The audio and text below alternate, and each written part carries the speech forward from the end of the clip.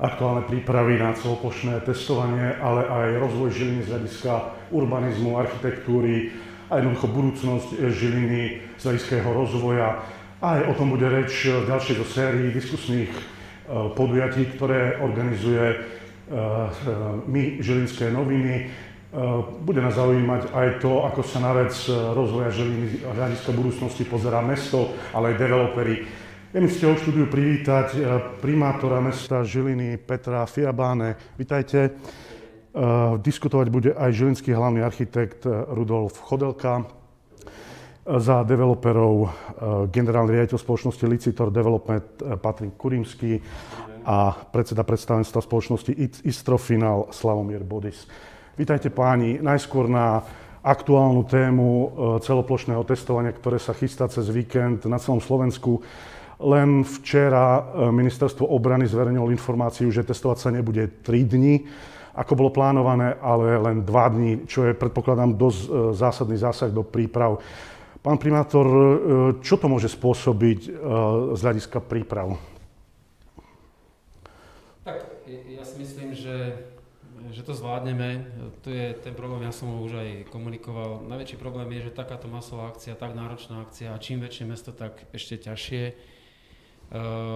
Je veľmi náročná na logistiku a začať ju v podstate organizovať nejakých 10 dní pracovných a myslím, že možno aj trošku menej pre tak veľké mesto ako je Žilina je naozaj veľmi, veľmi, veľmi náročné. Je dobré, že to dostala do rúk armáda, pretože je tam trošku taký ten systém a poriadok. To tým prípravám pomáha, ale, ale naozaj čím väčšie mesto, ak si máme predstaviť, že má, je povinnosťou samozprávy pripraviť Žiline zhruba viac ako 70 bodov, kde budú občania testovať. Bavíme sa zhruba o 60 tisícoch ľudí, keby išli všetci tak naozaj je to logisticky, personálne veľmi náročná vec. Ja som povedal, že nebudem dneska komentovať ten spôsob. Teraz treba to proste zvládnuť, treba sa zamerať na tú prípravu, na to zvládnutie, potom môžeme si stiažovať. Ale aj k tomu včerajšej zmene, no nie je veľmi šťastné, keď sa menia pravidlá hry podstate 4 dní pred začatím samotnej akcie.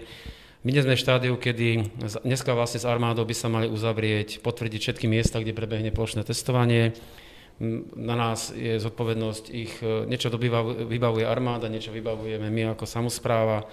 Je to pomerne veľmi veľa vecí. A druhý dôležitý rozmer je, aby sme mali dostatok dobrovoľníkov, ktoré potrebe zase do tých tímov zabezpečiť samozpráva. A tretia vec je, dobre to a úspešne odkomunikovať občanom, aby vedeli, kam majú prísť kde, kde sa majú hlásiť, ako to bude na tom konkrétnom mieste prebiehať. To sú všetko veci, kde v podstate 12-14 hodín denne jednoducho musíme šlapať. Chcem povedať, že na druhej strane sa ukazuje, že veľa ľudí, tí, ktorí štatutári napríklad školských zariadení alebo budov, kde bude prebiehať testovanie alebo kde v okolí bude prebiehať na ich pozemkoch testovanie, tak vidno, že väčšina z nich jednoducho v tom nasadení to vie zvládnuť. Ale opakujem, je to naozaj, ako sa povie, ľudovo masaker. Naozaj prešlo len pár hodín od toho, čo sa zmenili podmienky celoplošného testovania. Pripúšťate, že, že bude v Žiline viac odberných miest, ako bolo plánovaných? Ja som mal informáciu, že má ich byť 79, pretože predsa len to testovanie sa rozdelí iba na dva dní. To, ja poviem úprimne, my to nemáme šancu už dneska veľmi uh, dimenzovať viac. Ono to záleží aj od toho, že či máme dostatok zdravotníckého personálu a či máme dostatok vojakov, lebo opakujem, iné je urobiť takúto akciu na dedine, alebo na nejakej obci alebo malom meste, kde sú 3-4 uh, miesta, ktoré v minulosti slúžia ako, ako volebné obvody.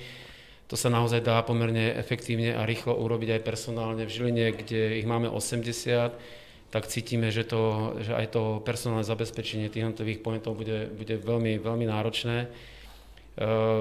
Ešte uvidíme, dneska o pol 11. bude porada na meste aj s príslušníky armády, ktorý, kde si potvrdíme, že či pôjdeme do, do nejakých driving miest, či ešte to vieme nejakým spôsobom prispôsobiť. Ale tie skúsenosti z Oravy hovoria o tom, že v piatok a v sobotu do obeda bolo plno ľudí, mm-hmm. od soboty po obedia už to bolo výrazne menej a nedelu veľmi, veľmi málo. Takže ono sa to dá rozdeliť do tých, do tých dvoch dní. Dôležité aby ľudia uh, nešli v sobotu do obeda všetci, lebo v tom prípade to je nezvládnutelné. A bude v tom nejaký systém? Budete ich e, ľudí volať podľa abecedy, podľa bydliska, alebo necháte to živelne na, na ľudí, kedy prídu? Toto je ďalšia vec, ktorá sa rozhodne dnes.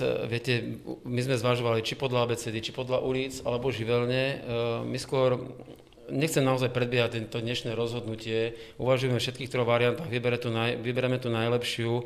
Je možnosť aj tá, že to necháme naozaj len živelne. Skôr teraz chceme zabojovať, že napríklad bude k dispozícii mapa mesta aplikácia, kde budú vyznačené tie body a mhm. človek si pozrie, že, že kde, kde najbližšie v okolí, pokiaľ tam u neho je plno, sa môže zúčastniť testovania.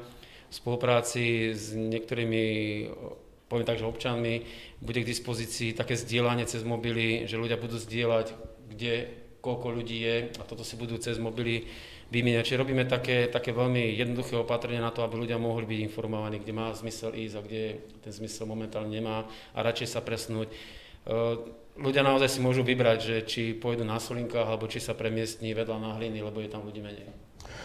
Vy ste si včera obišli s vojakmi pár budúcich testovacích miest. Aký ste mali pocit z toho, ako k tomu pristupuje armáda, čo od vás žiadali?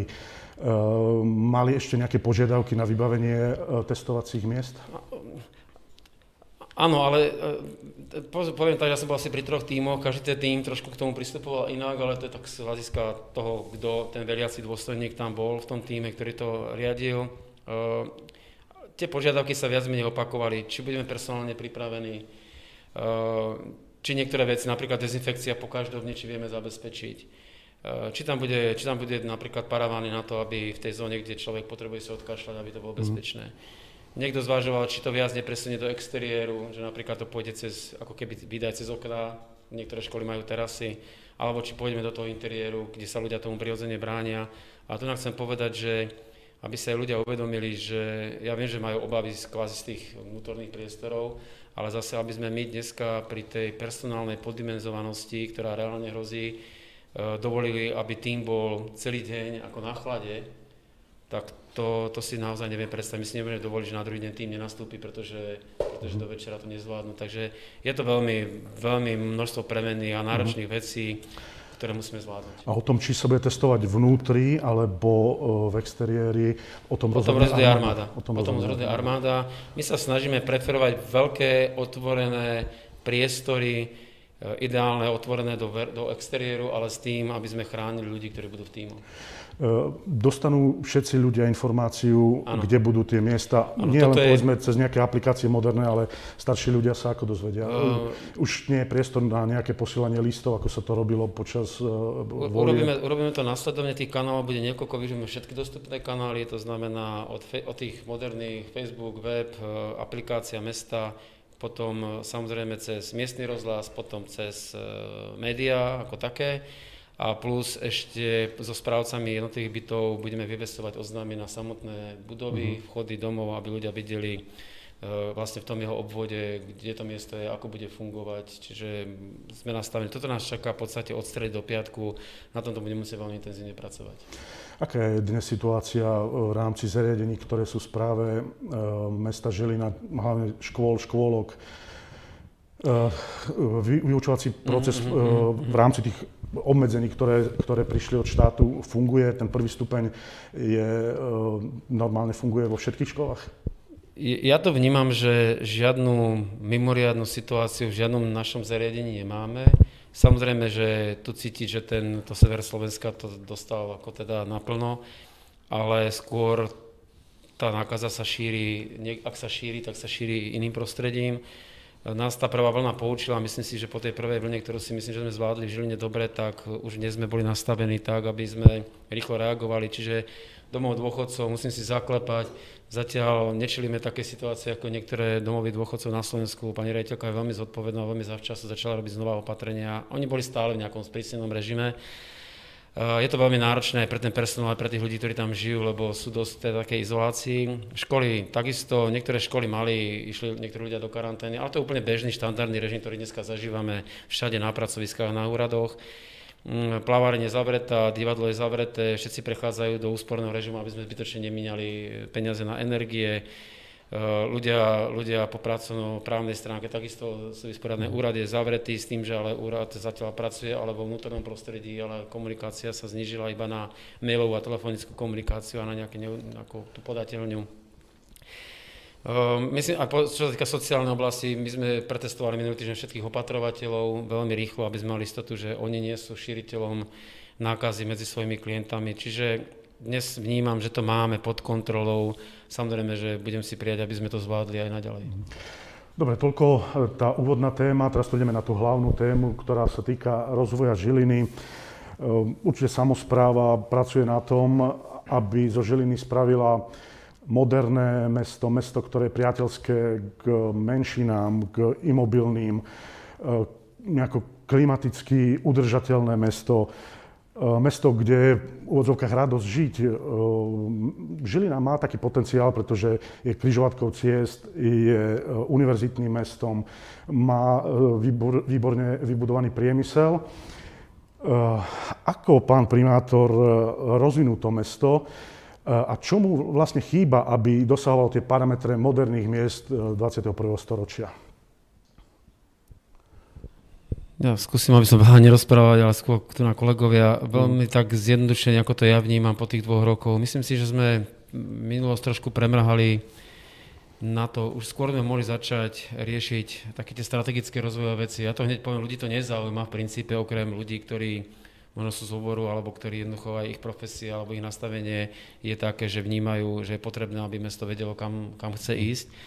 Ale toto si myslím, že Žilina výrazne v tom uplynulom období zanedbala, sústredovala sa na také svoje denné problémy.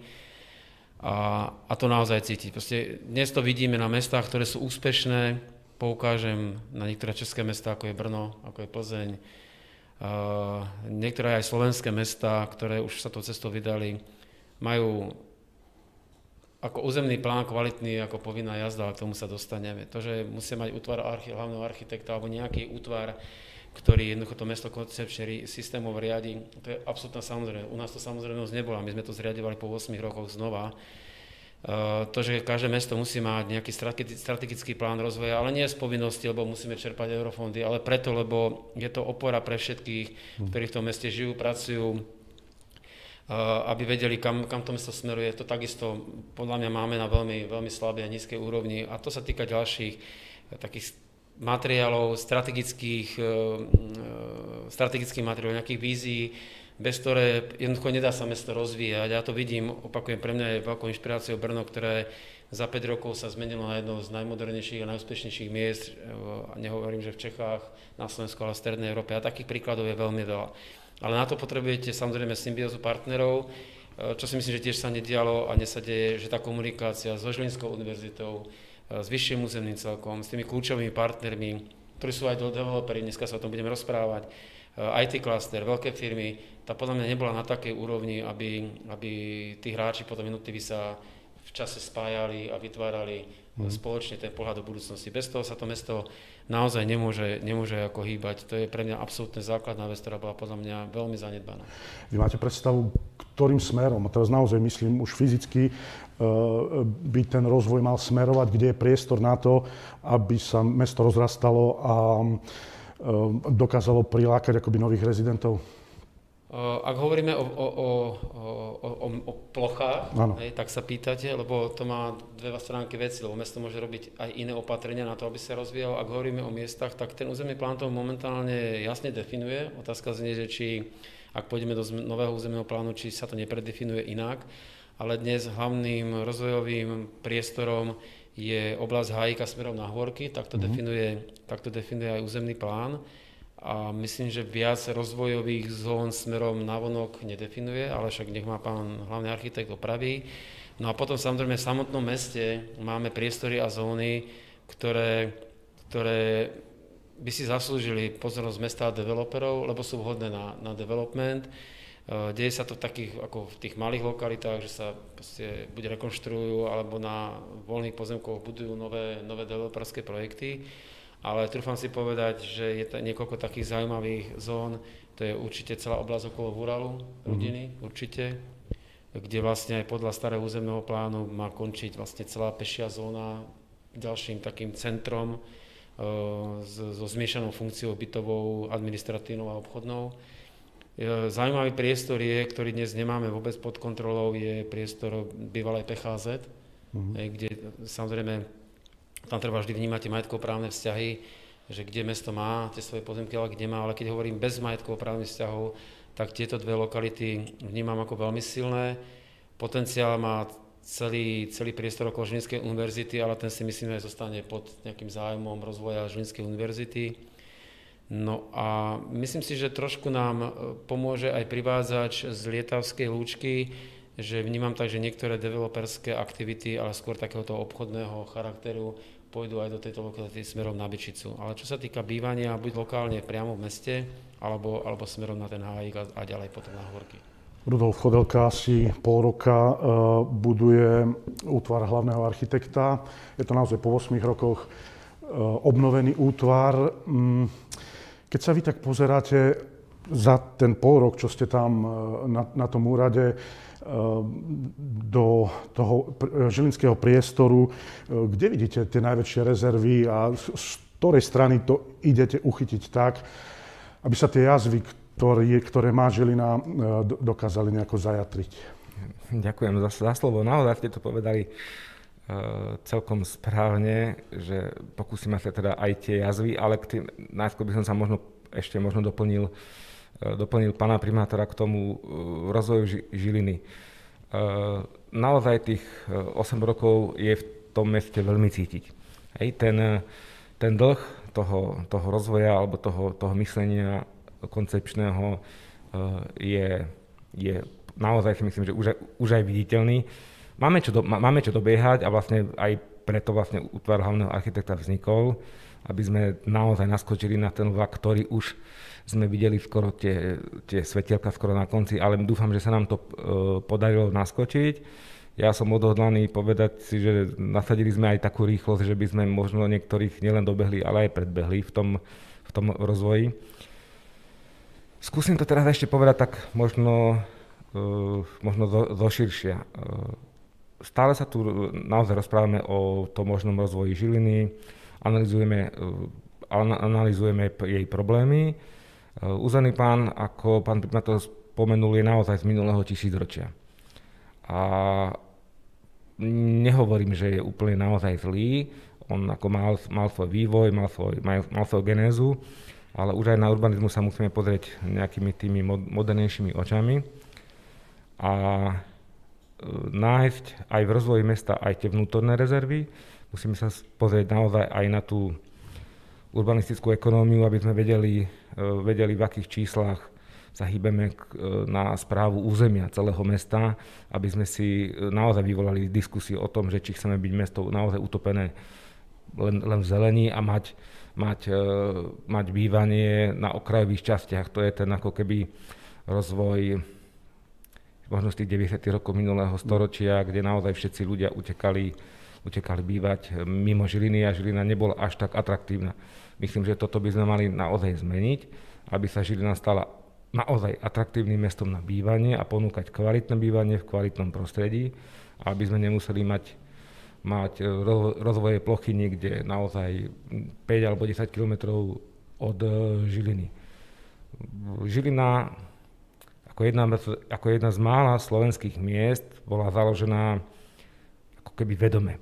Že nebol tu taký ten živelný, živelný rozvoj, že vzniklo nejaké jedno maličké miestečko, kde stalo pár domov a ľudia niečo predávali, ale v podstate bola založená naozaj vedome. Je to na tom meste vidieť, je úplne úžasné, my môžeme byť šťastní, že sme mali takýchto predkov, ktorí, ktorí urbanizmu Žiliny, Žiliny naozaj založili e, v nejakom, nejakom systéme. A my ho myslím, že musíme naozaj iba správne pochopiť a rozvíjať, lebo Žilina má v tomto ohľade naozaj veľmi dobrý, veľmi dobrý potenciál je na, má aj morfológiu terénu takú, že myslím, že väčšina ľudí sa vie dostať úplne v pohode skoro všade peši, teda pokiaľ bude pekné počasie. A myslím, že my na tomto budeme, budeme pracovať. Samozpráva, samozrejme, nech sa páči. Zabudol ešte, keď sme hovorili o tých územiach, e, zaujímavé, e, ja som cítil, že to ľudia možno povie, je to, že my sme na toho riekach A toto je, toto je obrovský problém, že my sme naozaj ten potenciál rozvoja mesta k tým trom riekám zase poviem premrhali, že sme si zablokovali prístup k váhu, ale práve rekonštrukciou železničného uzla a tými veľkými aktivitami, ktoré v Žiline sa blížia, to znamená dokončenie diálničnej siete okolí Žiliny a rekonstrukcia železničného uzla, sa vytvára nový potenciál do, do rozvoja aj smerom, k, aj smerom k váhu. Ja si myslím, že to je hodená rukavica pre hlavného architekta. Uh, ako vy vnímate tie nové e, rozvojové zóny, ktoré teraz naznačil pán primátor? Dá sa s nimi pracovať? E, je reálne, že niekedy na sútoku Rajčianky a Váhu bude nejaká zóna živá s parkmi, obytnou funkciou, alebo ja neviem, aký máte, aký máte záujem. A, a, a naozaj, čo s tou Rajčiankou a čo s tým Váhom, ktoré sú trošku oddelené od mesta? Áno, ako to pán primátor povedal, je to veľmi veľká téma. E, ten návrat k rieke e, tu v podstate medzi časťou odbor, aj odborníkov rezonuje už, e, už veľmi dlho a ten návrat k rieke, myslím, že to, čo nás naozaj momentálne, momentálne aj na útvare hlavného architekta zaujíma a snažíme sa najskôr ako keby rozvíjať diskusiu o tom, že čo s tým územím a v podstate naozaj tak, ako sa to má robiť. Analizujeme presne dopady, dopady e, revitalizácie železničného uzla. E, skúmame možnosti, vlastne, ktoré sa tu e, otvárajú a snažíme sa ich ako zakomponovať do tohoto živého organizmu mesta. Naozaj vidím tam veľký potenciál, je to jedno z, aj moja osobná téma je to, pretože si myslím, že celé to územie nielen pri Račanke, ale aj pri váhu od, v podstate od, e, od jedného vodného diela po druhé vodné dielo má veľký potenciál. A o tom, že či tam bude naozaj, či to bude územie určené na bývanie, alebo kultúru, alebo, alebo len čisto zeleň, naozaj musí prebehnúť široká odborná diskusia. Do nej predpokladám, že uh, zakomponujete aj developerov. Uh, čo by ste chceli, aby developeri z hľadiska rozvoja Žiliny priniesli do, do tejto diskusie vo všeobecnosti. Akú vidíte úlohu developerov v rozvoji mesta? No, ja vidím developerov ako, ako partnerov. Ako partnerov na dialog, pretože, e, pretože si myslím, že samozpráva má, má svoju úlohu. Samozpráva nik, myslím, že nikdy nebude v tak, takej miere e, zabezpečovať všetky veci, ktoré ponúka, ponúkajú developeri. Developeri majú zase svoj, svoj pohľad a myslím, že chcem pristupovať k ním naozaj ako partnerom, ktorými sa vieme rozprávať, vieme ladiť tie, tie, tie naše potreby, neberiem ich naozaj ako ani priateľov, ani nepriateľov, beriem ich naozaj ako partnerov. Uh, Patrik Kurimský aj Slomir Bodis uh, zastupujú spoločnosti, ktoré uh, majú cit pre architektúru, aj pre urbanizmus, majú za sebou oceňované projekty z hľadiska architektúry ako ste, otázka pre vás dvoch, ako ste vy nastavení eh, z toho hľadiska kvality, architektúry ehm, a, a, a tých stavieb, ktoré robíte, ako ste nastavení vo vašich spoločnostiach? Ďakujem za slovo. Treba si uvedomiť, že architektúra je uh, fenomén, uh, ktorý tu nebude len 10 rokov, ale 10 ročia. A z, toho, z tohto pohľadu k tomu treba aj pristúpiť. Je to veľmi, veľmi zodpovedný zásah do existujúceho mestského ekosystému a je, mal by byť so zreteľom na toto veľmi citlivý. Preto všetci tí, ktorí sa na tom procese nejakým spôsobom podielajú, či už je to od toho profesistu cez hlavného architekta, samozrejme cez prostredníka investora, ktorý do veľkej miery môže naozaj ovplyvniť e, aj, aj veľmi negatívne bez toho, e, bez toho odborného pohľadu na vec. E, môže veľmi negatívne ovplyvniť tú, tú výstavbu. Ale takisto aj ten, ktorý na konci dňa povoluje tú stavbu, tak všetci tí sú, sú zodpovední za to, ako, mm, ako tá architektúra a mesta dopadne. A mm, je to veľmi zodpovedná funkcia a nemala by sa riadiť len tými platnými regulatívmi v čase povolovania, ale mali by sa na ňu nazerať ako na s nadhľadom na vec, ktorá tu bude aj, aj po nás a mal by byť nejakým, nejakým spôsobom vizitkou tohto týmu ľudí. Preto, preto je dosť dôležité a veľmi osobne vítam to, že konečne naozaj po x rokoch tu máme útvar hlavného architekta a tak ako pán Chodelka povedal, to najcenejšie je asi to, že je tento útvar ochotný viesť dialog s nami. Pretože my máme nejaké skúsenosti, máme nejaké, či už pozitívne alebo negatívne, a predsa len ten úradnícky postoj od stola nikdy neprinesie taký nejaký vytúžený cieľ. Takže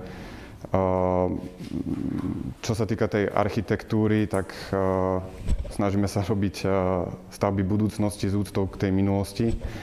A toto je v podstate tá zodpovednosť je asi ten, to najdôležitejšie, najdôležitejšie kritérium, ktoré pri tej architektúre treba zohľadniť. S vašim projektom Velpark, ktorý stojí blízko Mestského úradu, ste zvíťazili v stavbe roka. E, určite zaujímavý koncept. Možno pán Chodelka povie, čo si myslí o takom koncepte v, v centre mesta.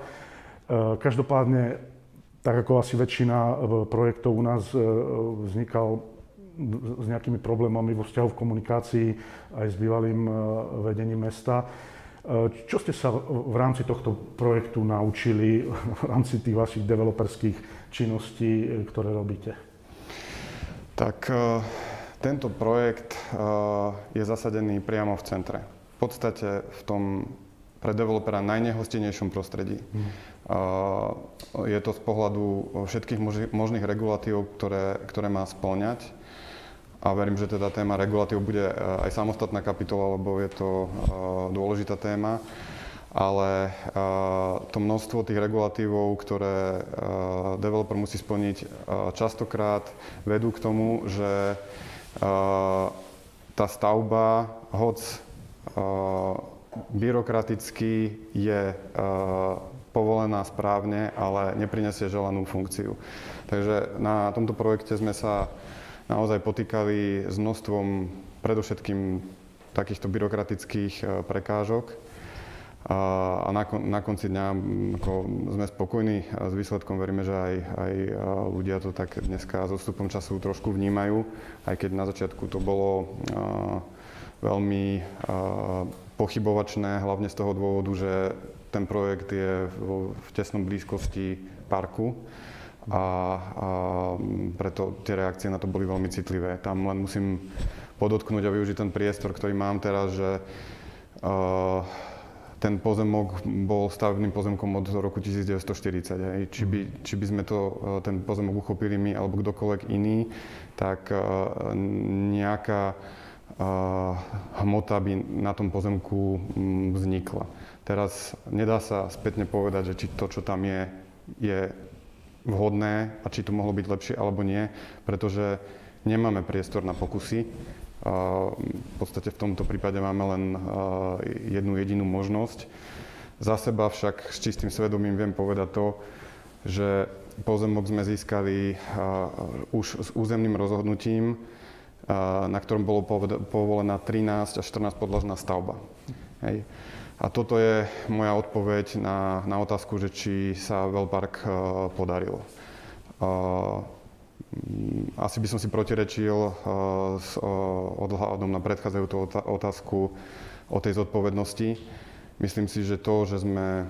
A my sme nepotrebovali ustupovať, nechcem použiť slovičko ustúpiť, ale my sme naozaj s rešpektom k tomu okoliu a k tým, k tým súťažným komunitám, ale aj k mestu, ale aj k tomu, k tomu že Veľpark sa môže stať architektonický symbolom v tom najskromnejšiem a najponíženejšom slova zmysle, ako, ako, ako to myslím, tak sme nemohli v žiadnom prípade akceptovať tie, tie východiska, ktoré sme v tom čase, čase mali a preto sme pristúpili k zniženiu hmoty o viac ako polovicu. Hej. A to je v podstate odpoveď na, na tú našu filozofiu a nastavenie, že nepotrebujeme mantinely od mesta, a samozrejme sú nutné, ale nepotrebujeme, alebo tí developeri, ktorí to naozaj chcú robiť svedomito, nepotrebujú výsostne mať striktné dané mantinely, ale mali by mať určitú možnosť mať aj dialog s mestom na to, aby sa na niektoré veci dokázali pozrieť z nadhľadu. Len jediná otázka, kým prejdeme k Slavomirovi Bodisovi. Čo si vymyslíte o výstavbe v centre Žiliny? Je tam ešte priestor, je tam priestor aj v rámci mm, historického jadra na nejakú kvalitnú architektúru, modernú, ktorá rešpektuje nejaké historické princípy. Ako sa vy dívate na nejaké zahusťovanie centra Žiliny? No, samozrejme, že ten priestor tu je. Naozaj nie sú, nie sú regulatívy územnopláne nastavené nejakým spôsobom. My za toho, za toho pol roka aj s tým, ako s tým územným plánom e, pracujeme a z, prichádzame aj na také, naozaj také niektoré možno až nelogické nu, nuancy, ako napríklad presne v historickom, teda v centre mesta, nehovorím o historickom e, centre, v centre mesta myslím, že máme, e, nemáme povolené novostavby, čo je pre mňa trošku šok, mm-hmm. pretože sú stále ešte preluky, to znamená voľné miesta v blokovej zástavbe, ktoré prirodzene je potrebné, aby sme ich aby sme ich e, zastávali, pretože tie pôsobia ako, ako medzera v zuboch. Hej? Že naozaj, že keď sa pozeráte na tú uličnú čiaru a ten parter, tak zrazu máte nejaký, nejaký pozemok, ktorý je evidentne si pýta, aby, sa tam za, mm-hmm. aby tam vznikla naozaj kvalitná architektúra. Ako ja naozaj, e, ak budem môcť, budem, na, budem vyžadovať, aby tá architektúra tu šla naozaj výrazne, výrazne hore ja hovorím, že asi mám šťastie, že ešte v podstate som len, na, som len nastúpil a už Žilina získala dve, dve stavby roka. Hej, to znamená, že vidieť, že v Žiline, že tá dobrá architektúra vzniká aj tak nielen samovolne, lebo naozaj tí developeri vyspievajú a sami cítia, že stavať kvalitne je pre nich dobré. Uh, hovorím, že možno aj tým, že ako vznikol útvar hlavného architekta, tak a bude nielen partnerom tých, e, tých, e, tých developerov alebo staviteľov. Ja hovorím, že budeme sa na, ako navzájom ovplyvňovať, aj ja by som chcel, aby sme boli takým partnerom, ktorý, ktorý mení z obyčajného developera na, ako keby na toho pána staviteľa, ktorého možno si pamätáme z Prvej republiky, ktorý mal k tomu miestu vzťah, ktorý to miesto cítil, ktorý to miesto naozaj, e, ja netvrdím, že miloval, ale posunul niekde ďalej. Hej, že možno k takémuto pocitu by sme sa možno mohli, mo, mohli dostať. Že vlastne to je to, to súznenie s tým miestom. A myslím, že vtedy naozaj aj architektúra dopadne veľmi, veľmi dobre. Pán primátor chcel reagovať? Krátka reakcia. Presne na toto ten útvar hlavného architekta je, že viete, my v tom centre máme aj, nehovorím o historickom centre, lebo to má iný režim, aj mhm. nejakú ochranu, ale v tom bližšom centre však máme aj veľmi nekvalitnú architektúru a tá nekvalitná architektúra by sa mala meniť na tú kvalitnú mm. a nemali, nemali by sme sa tomu vôbec brániť. Uh, sú príklady miest, ktoré majú pomerne veľmi hustú, hustý verejný priestor, ale vedia ho tak efektívne a kvalitne využívať.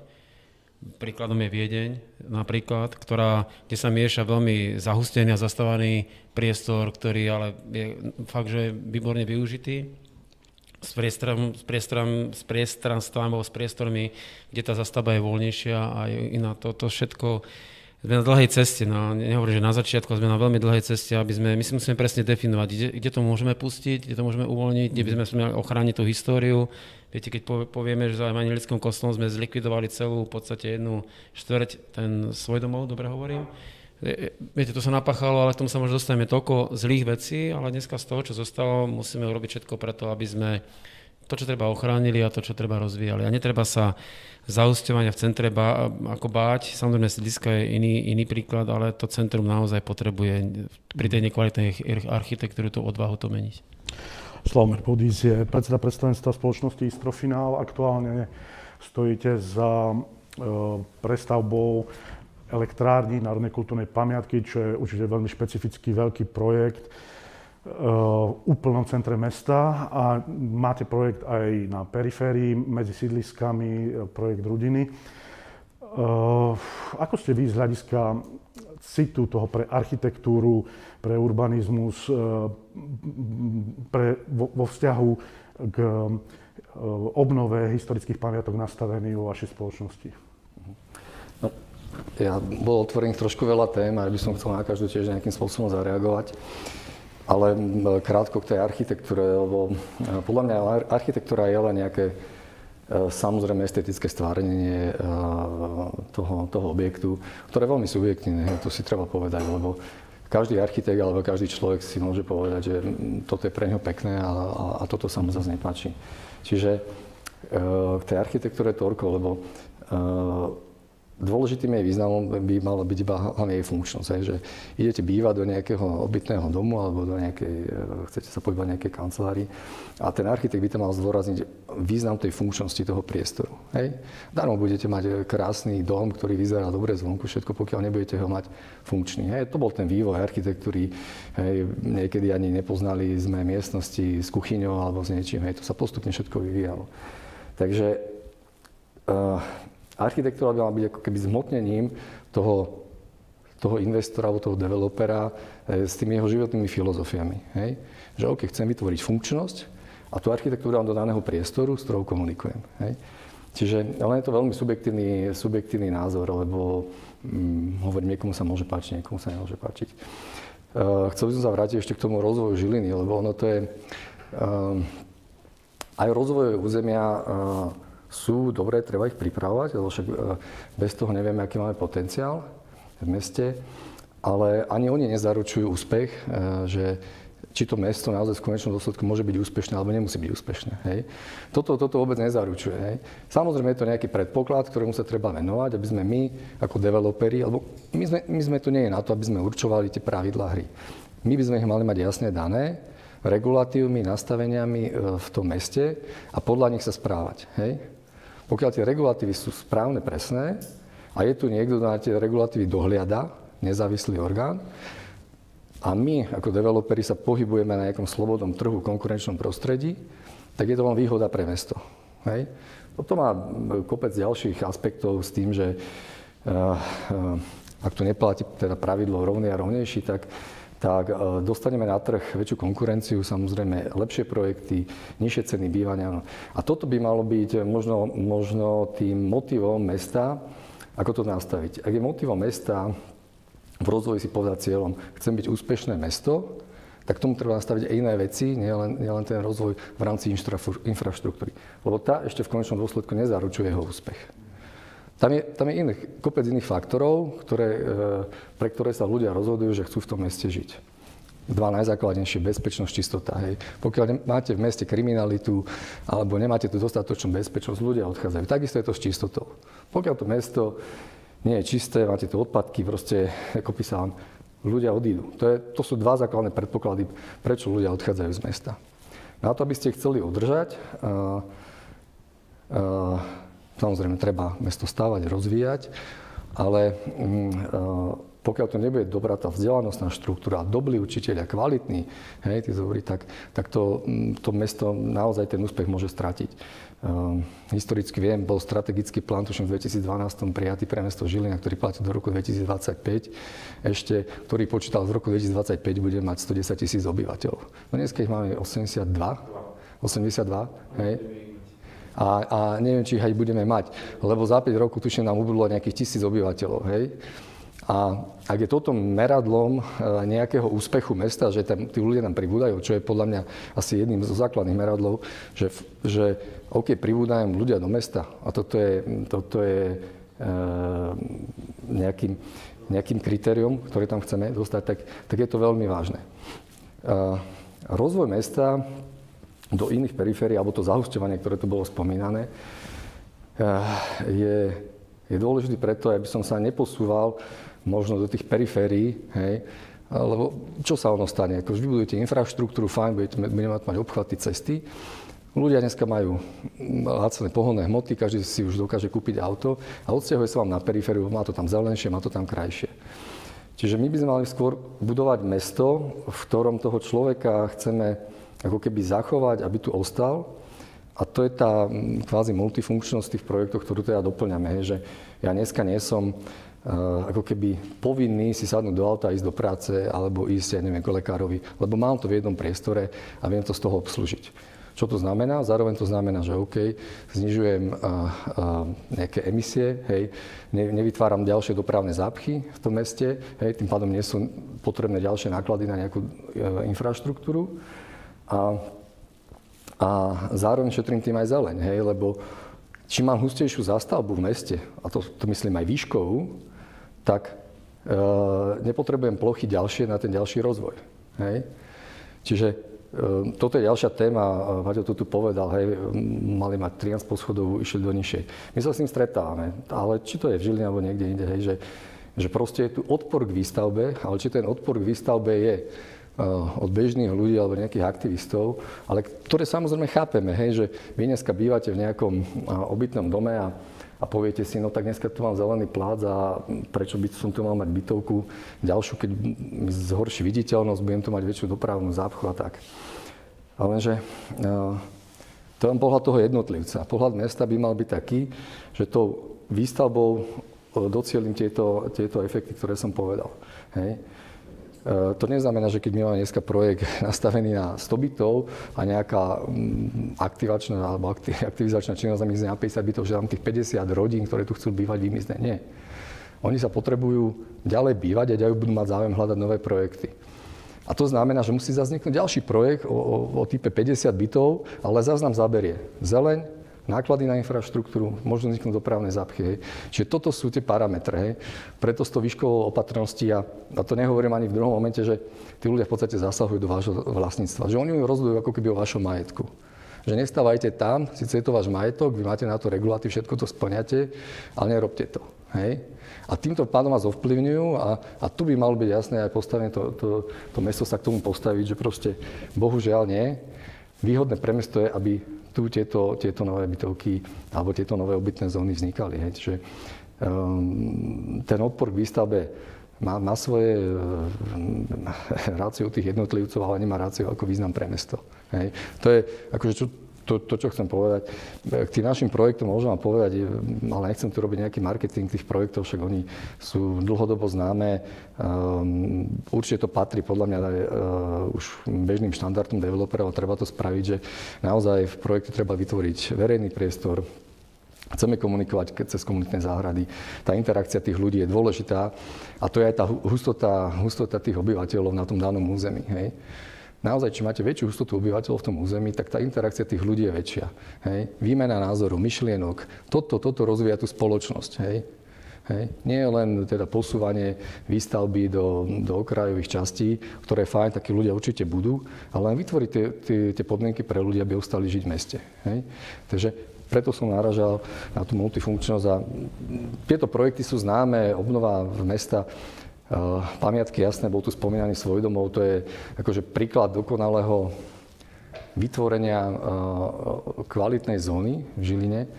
Medzi tými 20-40 rokmi tu naozaj my sme nemali svojich, ale my sme tu prilákali významných architektov od Behrensa, Čapku, Bednarika, Šera a spol, hej, že ktorí tu naozaj vytvorili dobrú architektúru. A to, čo ste povedali, áno, dneska sú tu, um, sú tu veci, ktoré tú architektúru pokazili. A to je len to, že e, tá výchova tých e, investorov a developerov nebola možno v tom poznaní. Poviem pravdu, ani ja som niekedy v minulosti nemal takéto poznanie. Ale je to len výchovou tých, tých ľudí a samozrejme, to je možno úloha aj vás, že viacej tých investorov vychovať, stretávať sa s nimi, OK, e, a s tými majiteľmi, že naozaj, aké máte stavby, aké máte budovy a ako, ako šetrne teda pristupovať k tej obnove. Hej? Hej? Čiže vidíte to finančný palác, nadstavba, OK, e, zanikli nám niektoré veci. Hej, Čiže toto je len, a to sú tie témy. Hej, čiže ja sa len vrátim na ten začiatok, na tú prvú tému, že mesto by si mal povedať, čo je, čo je cieľom, že či chce byť úspešným mestom, lebo rozvoj je len jedna z tých častí, ako ten úspech dosiahnuť. Ale je, je, to, je to širšia téma, my dneska ani asi neobsiahneme celú, ale je to len širšia téma, ktorú si treba povedať, z ktorá sa skladá z viacerých vodov. A samozrejme sú tam ďalšie tie ekonomické iné aspekty a, a životné. No. reagovať? Ja som išiel tak, tak konkrétne niektorým veciam. Uh, že s čím v princípe, možno s tým, pardon, s tým, čo bolo povedané, viac súhlasím a viac nesúhlasím. Áno, na začiatku, na začiatku uh, niekde na, naozaj na začiatku je ten úspech toho mesta uh, a úspech toho mesta definuje to, že či v ňom ľudia radi žijú a či sa rozvíja udržateľne do budúcnosti. Ja som povedal, že tomu nám nejaké veci chýbajú, na ktorých pracujeme. Uh, samozrejme, vy ste prvú otázku položili, že, že ako sa mesto tak fyzicky mm. ide rozvíjať. Ja tvrdím, že vôbec nie je podstatné, ani úspech mesta sa neberá, poč- nemerá počtom obyvateľov. Ako napríklad s tým nesúhlasím. Vôbec nie je dôležité, že čím budeme mať my za 10 rokov 120 tisíc. Ja si myslím, že práve posledné poznatky urbanistov hovoria, že ideálne mesta pre ten rozvoj sú práve tie mesta do tých 100 tisíc, lebo tam sa to dá nejakým spôsobom viac kontrolovať. Častokrát tie väčšie mesta už potom majú problémy, ktoré vyžadujú zase niečo iné. To je jedna vec. Druhá vec je e, bezpečnosť, kvalita verejného priestoru je jedna vec. Druhá vec je, aby ľudia nemali kde bývať, aby ľudia, keď končia školu, neodchádzali z toho mesta, aby mohli zakladať si firmy, podniky, rodiny. Mm-hmm toto všetko by malo mesto na to myslieť, aby, aby sa mohlo normálne rozvíjať. To je prvá vec. Druhá vec je, ja dneska cítim, že sme v takom bode zlomu. Možno, že aj ten COVID e, vlastne e, je, je, je toho súčasťou, že my už stojíme tak jednou nohou v tej minulosti, hovorím teraz o našom meste konkrétne, a už jednou nohou v tej budúcnosti. Ešte dneska nevieme, čo tá budúcnosť pre nás bude znamenať, ale tú minulosť vieme veľmi, veľmi dobre podpí, popísať Ehm, hlavne obdobie primátorovania Jano Slotu z hľadiska urbanizmu, vývoja mesta, to mesto poškodilo. A to musím povedať, lebo na jednej strane je to také kontroverzné, Vzniklo tu niekoľko veľkých projektov, ako je vodné dielo Žilina, ktoré dneska ukázalo svoju životaschopnosť. Máme tu na dopravný podnik, ktorý bol postavený na báze trolejbusov a má svoju životaschopnosť, ale na druhej došlo k bezprecedentnému predaju mestského majetku, nie úplne košter spôsobom. Eh, došlo k poškodeniu a úplnému narušeniu územného plánu, pretože došlo k zásahom, ktoré jednoducho naozaj to nás sa nemali udiať. A v tom je a my to stále dneska ešte cítime, eh, že toto stále, stále ešte, to je tá jedna noha v tej minulosti, že s týmto sa musíme vysporiadať. Uh, viete, to, tá, a to je príbeh Slovenska, nielen Slovenska, že my sme v tom období kľúčovom, keď sa to dialo, zlyhávali ako samozpráva, pretože mm-hmm. tu boli developeri, ktorí ešte neboli tak osvietení, alebo tak zodpovední, ako, ako, sa, stá, ako sa ukazujú dnes. Ale vtedy jednoducho to bol zúrivý klondaj, kde zlyhala samozpráva, ktorá nedokázala nastaviť mechanizmy, nemala, nemala ten útvor, tie orgá, orgány a stavebný úrad silný, úradníkov silný, ľudí, ktorí by dokázali legislatívu, ktorí by dokázali urobiť ten múr tomu, aby sa neudialo to, čo sa udialo. Jednoducho, ale to je minulosť my to musíme zobrať tak, ako to aj s tými napáchanými škodami. A dnes vlastne cítim, že naozaj prichádza a pre naše mesto duplom, lebo ten potenciál je obrovský, tá minulosť je veľmi silná, ešte tu nám, medzi nami, že, že je teraz ten čas sa tomu, tomu postaviť a posunúť to definitívne do tej budúcnosti. Nahráva tomu nové programové obdobie, peniaze, ktoré budú k dispozícii pre rozvoj tých miest otázka rekonštrukcie, samozprávy, krajina a tak ďalej. Tam je množstvo mhm. tém, ktoré nie sú veľmi silné a sú silné mhm. preto, lebo boli zanedbávané dlhodobo. Uh, ďalšiu vec chcem povedať, že pre toho developera, viete, to je presne otázka. Uh, ja som vám to aj napísal niekde v komentári, keď sme sa pripravovali. Myslím si, že aj Rudo to povedal, tu už nie je tá debata z minulosti, ja ju považujem za veľmi zjednodušenú a primitívnu Viete, že, že sú len zlí podnikatelia, alebo vykoristujú, sú zlí developeri, lebo, lebo ako drancujú to mesto. To, to nie je pravda. Ja si myslím, že ak máme byť dobrý, ak máme byť dobrým mestom, tak to dobré mesto potrebuje dobrých developerov, potrebuje dobrých podnikateľov. Samozrejme, mesto musí mať mechanizmy, aby ich dokázalo udržať v tých medziach toho, aby to mesto bolo dobré. A musí s nimi komunikovať. Na druhej strane aj to mesto niečo musí preto urobiť, ja to veľmi rýchlo poviem musí mať útvar hlavného architekta, kde investor príde a ten útvar mu povie, áno, váš zámer, raz, dva, tri, štyri, päť, tu na, sú, tu nás sú možnosti územného plánu, ktoré má vašu aktivitu, pomôžu, môžu, môžete ich realizovať, alebo ak má dotyčný konkrétnu, konkrétnu zónu, konkrétny priestor, kde chce niečo stavať, niečo realizovať, tak dostane zrozumiteľnú, jasnú a kompetentnú odpoveď bez kalkulácie mm. politickej alebo nejaké iné, čo sa tu dialo, že že niečo podmienovať niečím. Jednoducho transparentne fungujúci útvar hlavného architekta, ktorý je kompetentný vydávať riadne, zmysluplné rozhodnutia. Na to ale potrebuje kvalitný a zrozumiteľný územný plán s dobrými regulatívami, s jasne definovanými vecami, lebo tu na naozaj stále zlyhávame, však páni možno povedia, s čím sa stretávajú. Mm-hmm. Za tým ide, prepáčte, za tým ide stavebný úrad. Ja stále hovorím, to je taký zvyk, že ja to poviem úprimne, že keď niekto potrebuje niečo, tak volá primátorovi, prosím ťa, na tom stavebnom úrade nevidel si pomôcť. To je nezmysel. Našim cieľom je, a dúfam, že sa nám to v tomto volebnom období e, podarí zrealizovať, stavebný úrad, ktorý je silný, kde nie sú 6-mesačné čakacie lehoty, kde v lehotách vybavujeme veci a jednoducho, keď ich budeme normálne vybavovať v zmysle stavebnej legislatívy, tak nikto nepotrebuje vyvolávať primátorovi, aby mi s tým pomohol. Nikto nepotrebuje si hľadať cestičky niekde inde. Proste úplne jednoduché. A ten developer vie jasné, zrozumiteľné, čitateľné, transparentné, transparentné prostredie. Poslednú vec, ktorú som chcel povedať, je k niektorým projektom, lebo tu nás sa otvorilo niekoľko konkrétnych projektov, ktoré páni realizujú, ja tie projekty poznám. V prípade toho veľparku, áno, musím potvrdiť, že všetci sme sa obávali, čo ten veľpark spôsobí. Dnes, ja tam tiež idem občas na kávu dole a to, že tam v tom parku veľa ľudí je, deti sa hrajú, že tam je život, znamená, že tá hmota, ktorá tam vyrástla, to prostredie nezničila, ale mhm. dala mu tú pridávnu hodnotu, ktorú dnes určitá generácia ľudí a určitá skupina obyvateľov veľmi vítá, veľmi ocenie. Čiže to je z môjho pohľadu dobrý projekt, ktorý mesto Eh, by malo vždy privítať. Poviem príklad, že rodiny, keď to nie je úplne pána Bodisa problém, potenciál rodín bol oveľa väčší, ako má dnes, pretože tie predchádzajúce zásahy do toho priestoru, že sa nám postavilo Tesco, že sa nám postavil Lidl, potom prišiel pán Bodis so svojím projektom rodiny, už, už trošku tú hodnotu toho územia devalvovalo, ale to hovorím, že to nie je problém developera, lebo vstúpil do územia, ktoré už bolo nejako developované, podľa mňa veľmi nešťastne a veľmi na, na ten potenciál toho územia medzi solinkami a hlinami, mm, ktorý je podľa mňa veľmi veľký, už sa z toho veľa asi nedalo vyťažiť. Moja hlavná výhrada bola možno, že je zbytočne veľa parkovania na ploche, ale to, to je vec, tomu zase rozumiem, že ten projekt vznikal v nejakom, nejakom čase. Príklad elektrárny je, my k nemu zhľadáme ako, ako s veľkou nádejou, pretože práve je to, to, čo sme hovorili, že vlastne aj v centre mesta vieme aj dnes, vytvárať podmienky na kvalitnú, na kvalitnú architektúru. Elektrárne ten potenciál majú.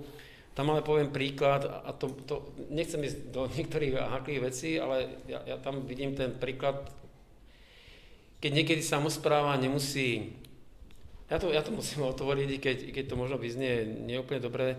Mňa, tam trápi ten osud tej ciachovne, ja to musím povedať, lebo dnes tá ciachovňa zostala vysieť v tom vzduchoprázdne kde ako primátor mesta som aj urobil nejaké aktivity. Len prosím vás, urobte všetko preto, aby tá ciachovňa v tom priestore začala fungovať. A dnes to hrozí, že fungovať nebude a ja to len vnímam a pritom naozaj nechcem nič viac povedať, že takto by sme ako samozpráva nemali zlyhávať, mali by sme s tým developerom komunikovať tak, aby sme, aby sme ten potenciál toho územia využili a práve území, kde sa nám zmiešajú naše spoločné záujmy.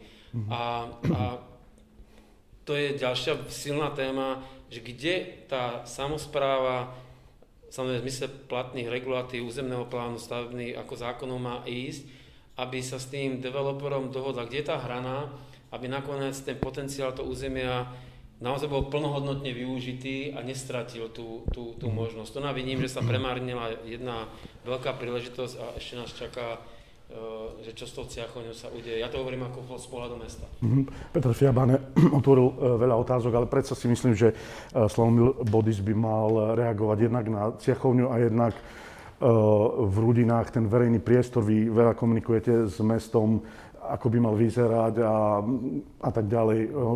Môžem vás poprosiť o reakciu? Odpoviem, doplním len ešte pána primátora na tú otázku, ako merá ten úspech toho mesta. Ehm, ja si myslím, že áno, že počet obyvateľov, tak ako sme ho mali nastavený, a že či ten odliv je tých obyvateľov alebo je príliv, tiež nám dáva jednu odpoveď. Že prečo tí ľudia teda odchádzajú, prečo tu nenašli také podmienky, aby tu mohli naďalej žiť a bývať, lebo to si treba povedať.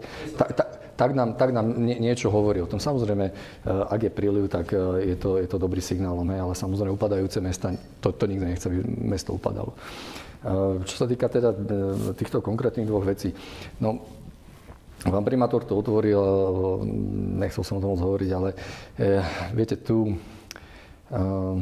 strácame takú, akože, takú víziu, chýba mi na tých samozprávach alebo na tých eh, aj štátnych organizáciách taká, taká vízia niekoho, kto by posunul niečo a nepozeral sa len ako, tak, tak mikro na ten, na ten svoj problém a hajú si len svoj problém. Hej? Lebo uh, takto, takto sa ten rozvoj naozaj nikde nepohne.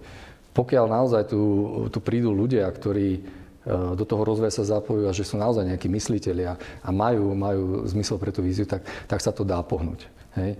Bohužiaľ toto my sme, sa nám nepodarilo s Ciachovňou. Takže... Ja si myslím, že treba povedať, eh, aby ľudia mali ako predstavu, že Ciachovňa patrí ženskému samozprávnemu kraju ano. a všetko na okolo vám. Áno, áno. Celé, tak samozrejme je to, je to národná kultúrna pamiatka, ktorá, ktorú Žilinský samozprávny kraj eh, si zobral do svojho vlastníctva. Tuším, 6 mm, rokov ju má. Eh, bohužiaľ zatiaľ sa jej obnova nepodarila. Vyzerá to, že sa asi jej tá obnova nepodarí. My sme ju zahrnuli v rámci nášho projektu do verejného priestoru, ktorý my tam vytvárame v rámci toho mestského vnútrobloku, ktorý tam má vzniknúť. Nie len pre obyvateľov, ktorí tam žijú, ale kompletne pre pritiahnutých eh, tých ľudí alebo celú verejnosť do toho vnútrobloku. A mala tam byť taká perla celé, celého toho, toho priestoru. Bohužiaľ dneska to ne, sa to nepodarilo. Uvidíme, čo bude, aká sa situácia bude ďalej, ale ale hm, hovorím, chyba mi tam taká, taká tá vízia, to zhmotnenie toho, toho myslenia, že OK, tak máme tu nejaký priestor a chceme ho, chceme ho budovať nielen pre nás a pozerať sa na svoje záujmy, ale, ale v širšom eh, kontexte aj, aj, pre, aj pre iných ľudí. Jednoducho ste sa so Župovne dohodli Nie. na konkrétnom predaji, vám sa zdala tá cena e, premrštená, ktorú žiadali, alebo ešte na niečom inom to padlo? Viete, tak keď niekto povie, alebo teda keď niekto chce byť dobrý hospodár, tak dobrý hospodár by mal aj zachovať nejaké tie hodnoty, ktoré, ktoré mu boli zverené. Hej. Dneska sa Ciachovňa rozpadá, neviem, aký bude aj budúcnosť. Hej. Čiže my sme ponúkli e, to, čo to, čo sa nám zdalo, alebo čo je ešte zmyslom, čo ten projekt dokáže uniesť ako po ekonomickej stránke, lebo nemôžete ísť do nekonečna a potom naozaj nezrealizujete ani ten samotný projekt. Hej. Čiže vy tam v konečnom dôsledku sa musíte pozerať aj na nejaké čísla a, nie to o tom len pocite. Takže tu sa nám to nepodarilo. Samozrejme, keď niekto kúpi za 1 euro a chce potom za to 550 tisíc, tak um, OK, je to um, nejaký zámer, áno, akože naplniť rozpočet, ja to chápem, ale na druhej strane mm, je to škoda pre, pre to, aby sa ten projekt posunul ďalej. Hej. A my máme tiež len nejaké mantinely, ktoré sú ešte e, dané, e, dané v tom projekte. A to, toto bol asi nejaký... Dobre, čo sa týka rodín, e, tam viete, ako vylepšiť ten čo sa, aspoň Čo sa týka rodín, pán primátor to dobre pomenoval. Viete, my keď sme do Runín e, vnikli, e, to územie bolo riešené územným plánom zóny ešte v 78. roku, hej, ktoré dovolovalo výstavbu, e, jeho funkčnosť regulatívmi bola výškovo nastavená. A toto je problém. Viete, keď my ideme do územia, tak my chceme mať jasné pravidlá. Kúpujem pozemok, lebo viem, že na ňom môžem stavať toľko a toľko, viem si to spočítať, viem povedať predávajúcemu, dobre, toľko to vám zaplatím, toľko mi to, toto mi to ne. Ale keď prídu tieto vplyvy, ako je odpor k výstavbe, e, zníženie tej stavby, rozdelenie tých poloh na, na, na väčšie priestranstva, tak, tak to tak ten projekt aj dopadne. My sme robili územný plán zóny, sme tú zónu menili, viete, tam musíte postupovať e, najskôr súťažou, súťaž sa musí vyhodnotiť, e, potom dávate verejné prerokovania. Skoro 6-ročný proces. Hej. A teraz, keď sme chceli niečo zmeniť, lebo za 6 rokov je dlhá doba, ktorá sa vám zmení aj v tom projekte, a keď chcete už niečo zmeniť, zás musíte tento proces absolvovať od začiatku. Čiže to by som možno apeloval, aby sa na to dávalo, aby bol ten, ten územný plán trošku pružný, lebo za tých niekoľko rokov sa môže stať, že dneska sme mali funkčnosť na, na obchodnú časť, ale tie obchodné časti už nám vznikli niekde inde v meste, ľudia už nemajú takú potrebu stále chodiť do obchodov, hej. A a aby sa dal regulovať a tu, aby nastala nejaká komunikácia, že OK, mám tu nejaké územie, kde ste mi zadefinovali, že máme 50% obchodnej časti a 50 bytovej, čo už dneska vieme, že tá obchodná časť už máme vyrastla mi niekde v susedstve, niekde, tak už nie je potrebná a doplním to, čo momentálne aj ten trh žiada, samozrejme s dôrazom na tie, na tie ostatné veci. A toto je problém a neuzamknúť sa uh, historicky sme dostali teda zlé stanoviska, nemôžete sa posunúť ani o pol metra, nič, nemôžete nič meniť. Hej. Keď chcete vylepšiť ten projekt, tak ako vám zo súťaže vyšiel, už ani nemôžete. Hej. Alebo môžete, ale zase stratiť ďalších 6 rokov. A za, za tú dobu sa zase niečo zmení, lebo ten vývoj dneska je rýchly a proste tak následuje. Čiže toto sú také obmedzenia, ktoré potom naozaj uh, vás pribrzdia v tom rozvoji a mm, nemôžete tam do toho vniesť. To, čo sa nám podarilo vniesť naozaj, je veľa toho verejného priestoru. Odovzdávame mesto okolo 14 m štvorcových, hej. Mali sme tam kopec vyvolaných investícií, tuším okolo 1,7 milióna, hej. Ehm, ehm, športoviska na meste tam vzniklo, nejaké detské ihrisko, ehm, odozdávame nejaké chodníky, cesty, komunikácie, zelené, lavičky, fontána, tam je všetko. Hej. Čiže ten verejný priestor akože je plnohodnotný, ale v konečnom dôsledku mohol byť ešte lepší a tá mierka tej hustoty toho obyvateľstva tiež mohla byť väčšia, lebo tá potencia sa nevyužila, no. je, to, je to tak povedané. Hej. Ale, ale naozaj mali sme zviazané ruky územným plánom zóny, ktorý, ktorý nemá pravidla. Keby to bol iba územný plán, ktorý vám dáva regulatívy, môžete ísť na základe územného rozhodnutia, hýbať sa, opraviť to, ne. ale územný plán zóny je presne stanovený. Hej. Patrik Rímsky, vy aktuálne e, budujete v centre mesta projekt Piano Residence. Uh, viem si predstaviť, že ten povoľovací proces uh, musel byť veľmi zložitý. Uh, ako vás limitujú jednak regulatívy územného plánu a jednak to, čo zažívate na, na povedzme, stavebnom úrade? Um, čo by ste možno odkázali pánom z mesta, čo by malo byť inak a ako by ste si z hľadiska vás predstavovali, aby, um, aby, aby, aby tie, tie dokumenty a, a, a ten stav na stavebnom úrade, aby, aby, aby to fungovalo inak? To je celkom dobrá otázka a celkom dobrá príležitosť práve na tomto projekte demonstrovať uh, určité uh, pohľady a limity, ktoré dnes máme. Už to tu odznelo mnohokrát, územný plán. Hej, to, je, to je mantra. Cestu sa prosto uh, nedokážeme preniesť. Ako je dneska územný plán kreovaný, je to dodatok za dodatkom.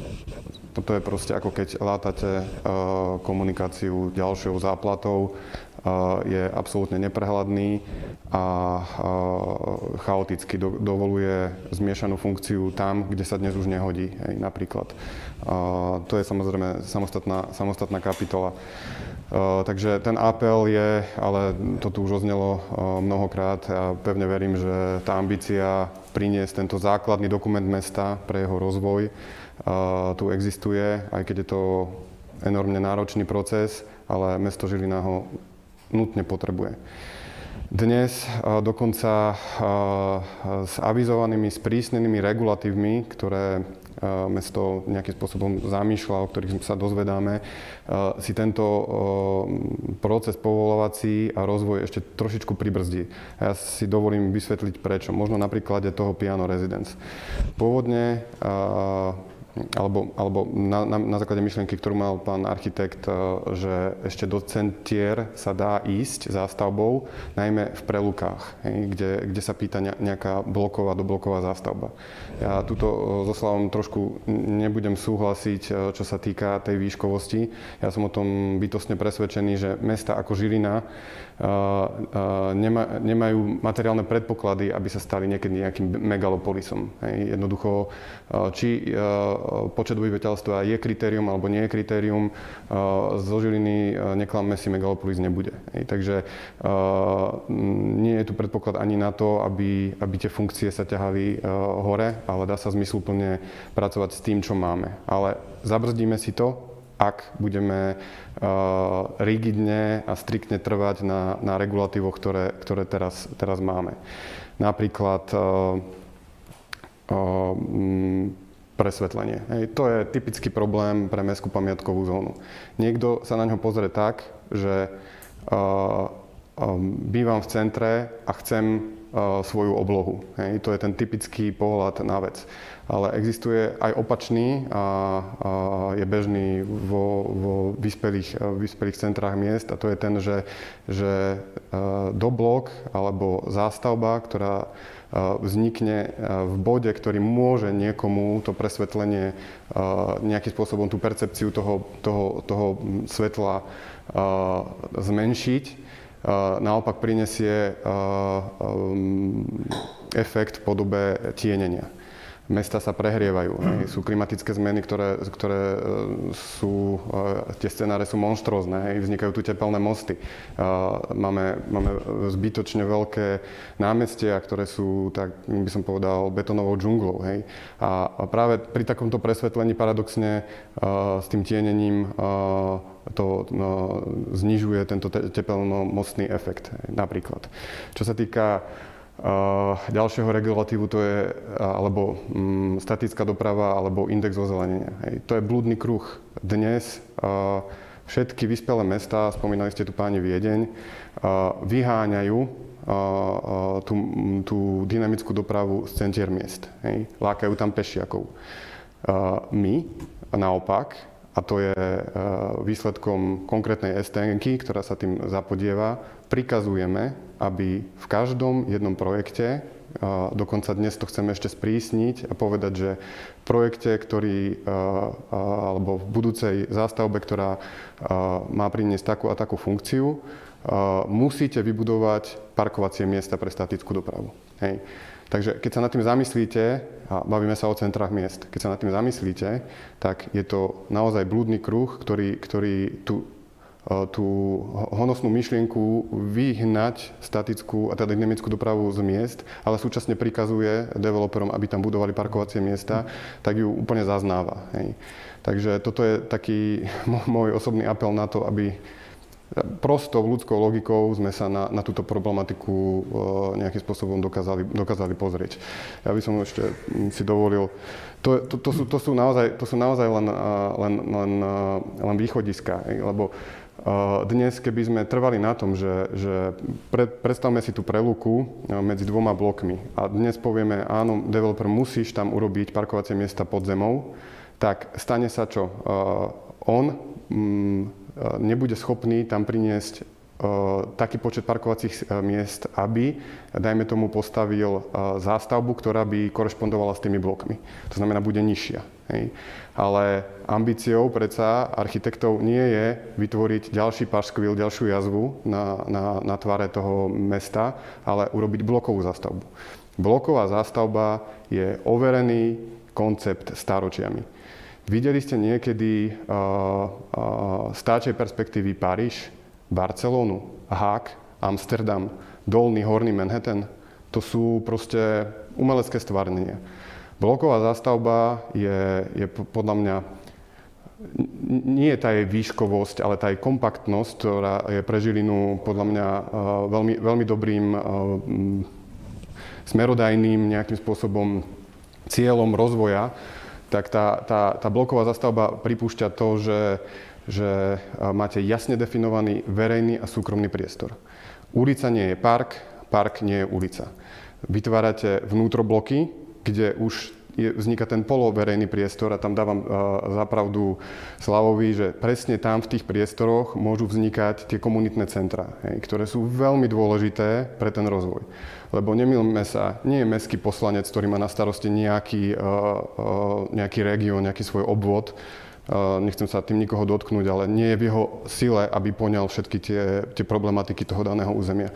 Ale presne tá komunita, ktorá, ktorá v, tom, v tej danej lokalite žije, tak vie povedať, že toto by sme potrebovali. Hej. Ja keď som bol v Edimburgu, tak som zažil, uh, uh, bola, bola tam otázka Brexitu, uh, ako veľmi palčivá téma a Prosto tam sa vytvorili, na nejakom mestskom podujatí sa vytvorili dve, dve skupiny ľudí a jednoducho vystupovali a prednášali svoje argumenty pre, e, pre a proti. A všetko sa to nieslo v takej pokojnej e, kultúrnej atmosfére, ktorá proste posúvala tie, tie, tie myšlienkové predpoklady na, ten, na, ten, na to, čo oni sledovali. Ale toto bolo pri, uh, prítomné aj pri, pri rozvoji mesta. Hej. Ten, ten model, ten scenár sa nezmenil.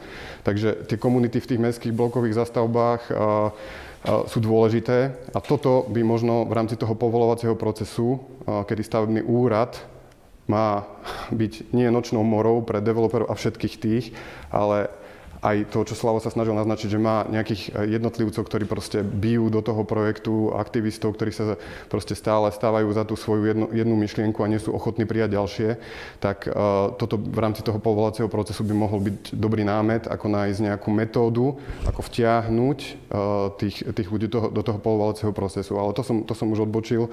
Uh, čo sa týka tých regulatívov, tak keď sa k ním vrátim, tak tá mestská bloková zastavba je podľa mňa v tých centrách alfa omega a na ňu treba dbať, lebo ak budeme pokračovať rigidne podľa tých regulatívov, tak ju nedosiahneme. Hej.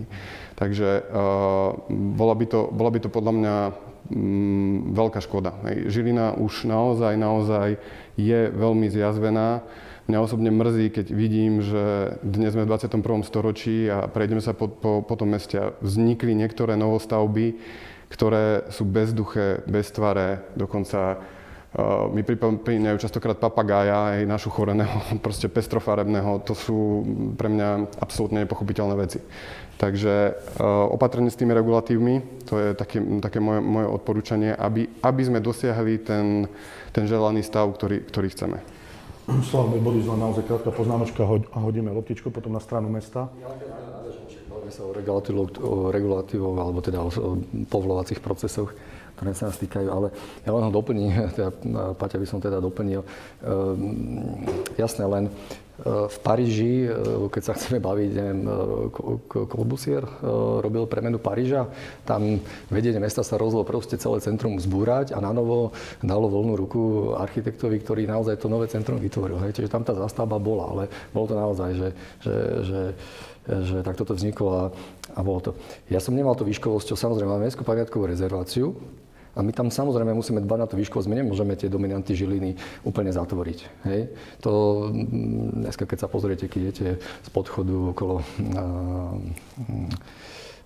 ku Mirážu, hej, tak ak samozrejme dominanty žiliny no, že samozrejme už dneska nevidíte hej, a takéto. Hej. Čiže samozrejme, tam tá výškovosť by nemala byť. Ja len hovorím na to, že, že výškovosť v tých, e, v tých mestských častiach by mala byť preto, lebo naozaj e, ochránime tú výstavbu niekde ďalej, kde sa nám posúva, alebo dostaneme, dostaneme tú, tú väčšiu zastávanosť, alebo teda tú, ten väčší počet ľudí na menšie územie. Hej.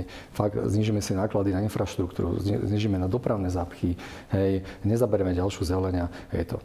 A teda ďalšie plochy. Krátko k tým povolovaniam. Ja som to povedal na začiatku. Naozaj, pokiaľ tu budú jasné pravidlá pre každého s jasnými regulatívmi, treba tu otvoriť trh medzi tými developermi, tak naozaj tých projektov bude vznikať veľa. Ehm, Žilina, tuším, za posledný rok narastla na bytoch, tuším, skoro 18 hej, ehm, v ceny, v ceny nehnuteľnosti, čo je akože absolútne číslo. A to je iba dôsledok toho, že tie projekty, ktoré tu mali vzniknúť aj tento rok a sa pohybať, neboli povolené. Hej. Proste toto je to. Ne. Čiže drahý byť neznamená, že sa tej Žiline darí, hej, že si kupujú, uh, kupujú ľudia, že sú tu do, dostatočné príjmy. Nie, to je len dôsledok toho, že tá konkurencia tu nie je dostatočná, to možno hovorím proti sebe, hej, lebo keby to bolo viacej takýchto firiem, ako sme my, tak tá, konku- tá konkurencia je dostatočná na to a samozrejme má to tlak potom na, na ceny. Viacej ľudí si ich môže dovoliť, tam samozrejme viacej ľudí to potom môže bývať. Hej. Takže Netreba, uh, samozrejme, diskusia o povolacích procesoch, to je asi na nejakú inú úroveň, nie, nie tu, ale, ale treba jednoznačne povolovať, pomáhať tým developerom, sadnúť si s tými stavebníkmi, či sú to menší investori, väčší a pomôcť tomu, aby mali povolené projekty, mohli stavať, pomôžeme tým ľuďom, znižia sa im ceny toho bývania a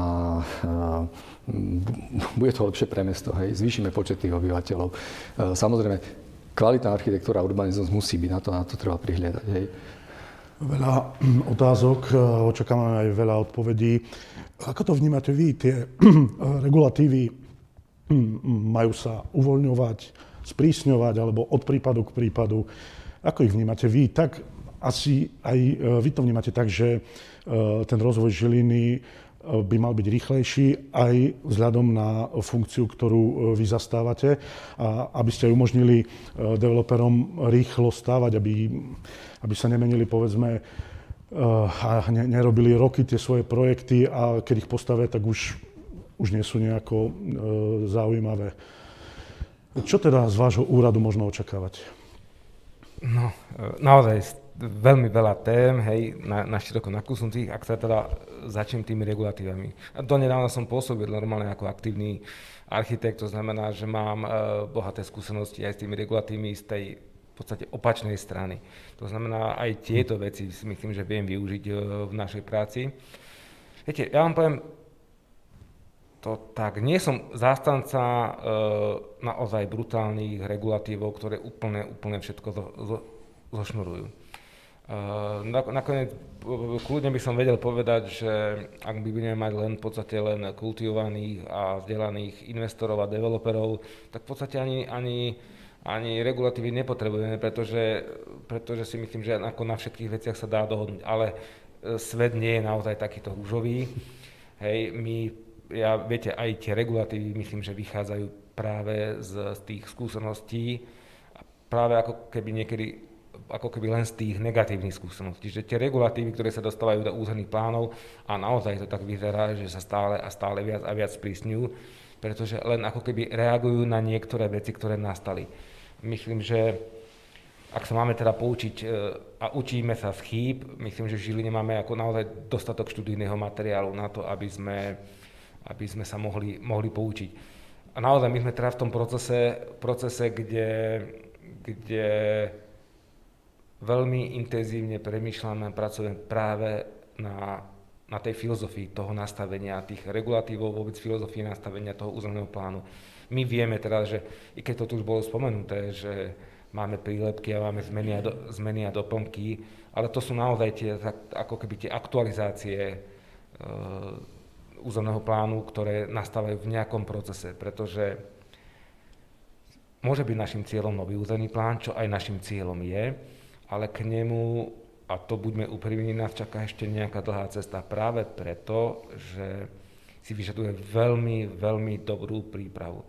Naozaj sme, čo tu bolo povedané, sme na, sme na možno Prahu významných zmien. Myslím, že aj COVID e, spôsobí veľmi veľa spoločenských zmien a na tieto veci budeme musieť reagovať aj my. Určite, určite ten svet už bude naozaj iný. Vidíme to už teraz, že v podstate kancelárske priestory, ofisy sú naozaj na ústupe, pretože fakt sa zväčšuje podiel uh, home officeov. To znamená, aj toto sú veci, ktoré sme si ešte ani pred rokom nevedeli predstaviť. My môžeme nastavení, môžeme byť vizionári, aký, aký len chceme, ale nikto si nevedel predstaviť, že zrazu o rok tu máme realitu, ktorá pred rokom sa nám ukazovala ako úplne iná. A, a aj tieto veci naozaj musíme nielen v územnom pláne zachytiť, pretože to bude mať naozaj dosah nielen na mobilitu, na, na dochádzkové vzdialenosti, na, na infraštruktúru. Toto my naozaj vnímame a chceme to, chceme to zahrnúť, ak sa nám to podarí už aj teraz v ďalších zmenách a doplnkoch, lebo do, do tých, môžem to povedať, že do, do tých ideme a chceme možno odstrániť e, ako keby tie základné chyby, ktoré tam ja, ktoré tam ja vidím. Uh, skúsim sa ešte aj dotknúť uh, možno aj tými skúsenostiami s tými, možno nazvete, nazvete to jedno, jednotlivci, alebo teda tá neodborná verejnosť, ktorá zasahuje do toho, do, do toho procesu. Mojou filozofiou je tak, že ak sa ľuďom ako veľmi dobre vysvetlí, ako úprimne a priamo, tak ľudia to pochopia. A keď to pochopia, tak tomu aj dôverujú. Samozrejme, že sú jedinci, ktorí, u ktorých e, komunikácia je možno, možno zbytočná, ale nám naozaj nejde e, v tej chvíli len o jedni, jednotlivcov, ale naozaj nám ide o to, aby sme to, čo si predstavujeme, aby to ľudia prijali. Pretože naozaj my sme e, dôveru ľudí získali, musíme robiť naozaj kroky, aj nastavať veci tak, aby sme tú dôveru si uchovali a v podstate ju rozširovali. Stále sa bavíme o tom, že či je teda naozaj, či je náraz počtu obyvateľov v Žiline je nejakým, nejakým meritkom alebo nie meritkom. Ja si tiež myslím, že, že nejakým meritkom je, pretože Žilina mala, uh, má za sebou skúsenosť, ktorú má, malo doteraz veľmi málo, málo miest na Slovensku. Získali sme jednu z najväčších investícií KIU eh, hneď pri Žiline a tá si myslím, že mala zamávať ako veľmi veľa s číslami, lebo podľa mňa to má, eh, malo veľmi synergický e- efekt, sem sa vzťahovalo ľudí, myslím, že z celého Slovenska. To sa naozaj na tých číslach až takým spôsobom nejak, nejak nepre, neprejavilo. Takže niekde ako keby nastala, nastala chyba a buď mesto na to nebolo pripravené, lebo keď vidíte okolité obce od Mojša, kde to už ja, z môjho pohľadu je naozaj podľa mňa situácia neudržateľná, tak v podstate naozaj sme sa sme sa vybrali ako keby e, cestou, ktorá je na, naozaj že zlá, hej? že sme sa ako keby nevedeli poučiť z toho, čo, čo niekde buď v západnej Európe naozaj už absolvovali a Žilina toto nedokázala, nedokázala spracovať. Ale keďže naozaj pracujeme v dedičstvo minulosti a tá Žilina je fakt úžasná, tak dokázala ešte aj takéto chyby, hej? aj tie obchodné centra v centre mesta dokázala nejakým spôsobom ako keby absorbovať a nepoložili Žilinu na kolena že vieme s tým stále ešte pracovať. Ja sme ako naozaj asi realisti, že tie obchodné centrá tu nejaký čas nikto nezbúra, ale vieme, čo nám to spôsobilo s Masaryčkou a to je len ako keby výsek nejakého urbanizmu. Preto ja napríklad vítam aj, aj projekt elektrárny, i keď to hovorím, ja si pamätám, keď, keď to začalo, mal som tiež veľmi veľa výhrad k, nejaký, k nejakým riešeniam a preto som naozaj rád, že aký, akým spôsobom sa to posunulo, pretože si myslím, že ten vývoj ukázal, že sa to posunulo tým správnym smerom. Chcel by som sa aj dotknúť tej ciachovne, ktorá tu bolo spomenutá. Ja si myslím, že toto je vec, ktorá je odsúdená na úspech. Lebo tam e, tu, ja som optimista v tom, že zdravý rozum musí vždy zvíťaziť a vždy to nakoniec dopadne dobre. Ja viem, že teraz to vyzerá asi veľmi zle, nemám úplne naozaj všetky informácie, ale ja si myslím, že to nemôže ani dopadnúť inak. Lebo to si naozaj e, neviem predstaviť, že bude, že bude developer a samozpráva sa pozerať na niečo, čo, čo nikomu nič, nič neprináša. To znamená, ja si myslím, že, že v jednom bode, a preto si myslím, že treba aj komunikovať aj s tou verejnosťou a naozaj, lebo toto to musí dopadnúť dobre, to nemôže dopadnúť inak. Hej, to skrátka nemôže spadnúť, alebo že nemôžeme sa pozerať na, na budovu, ktorá je významná a že z ňou nič ne, nevyťažíme.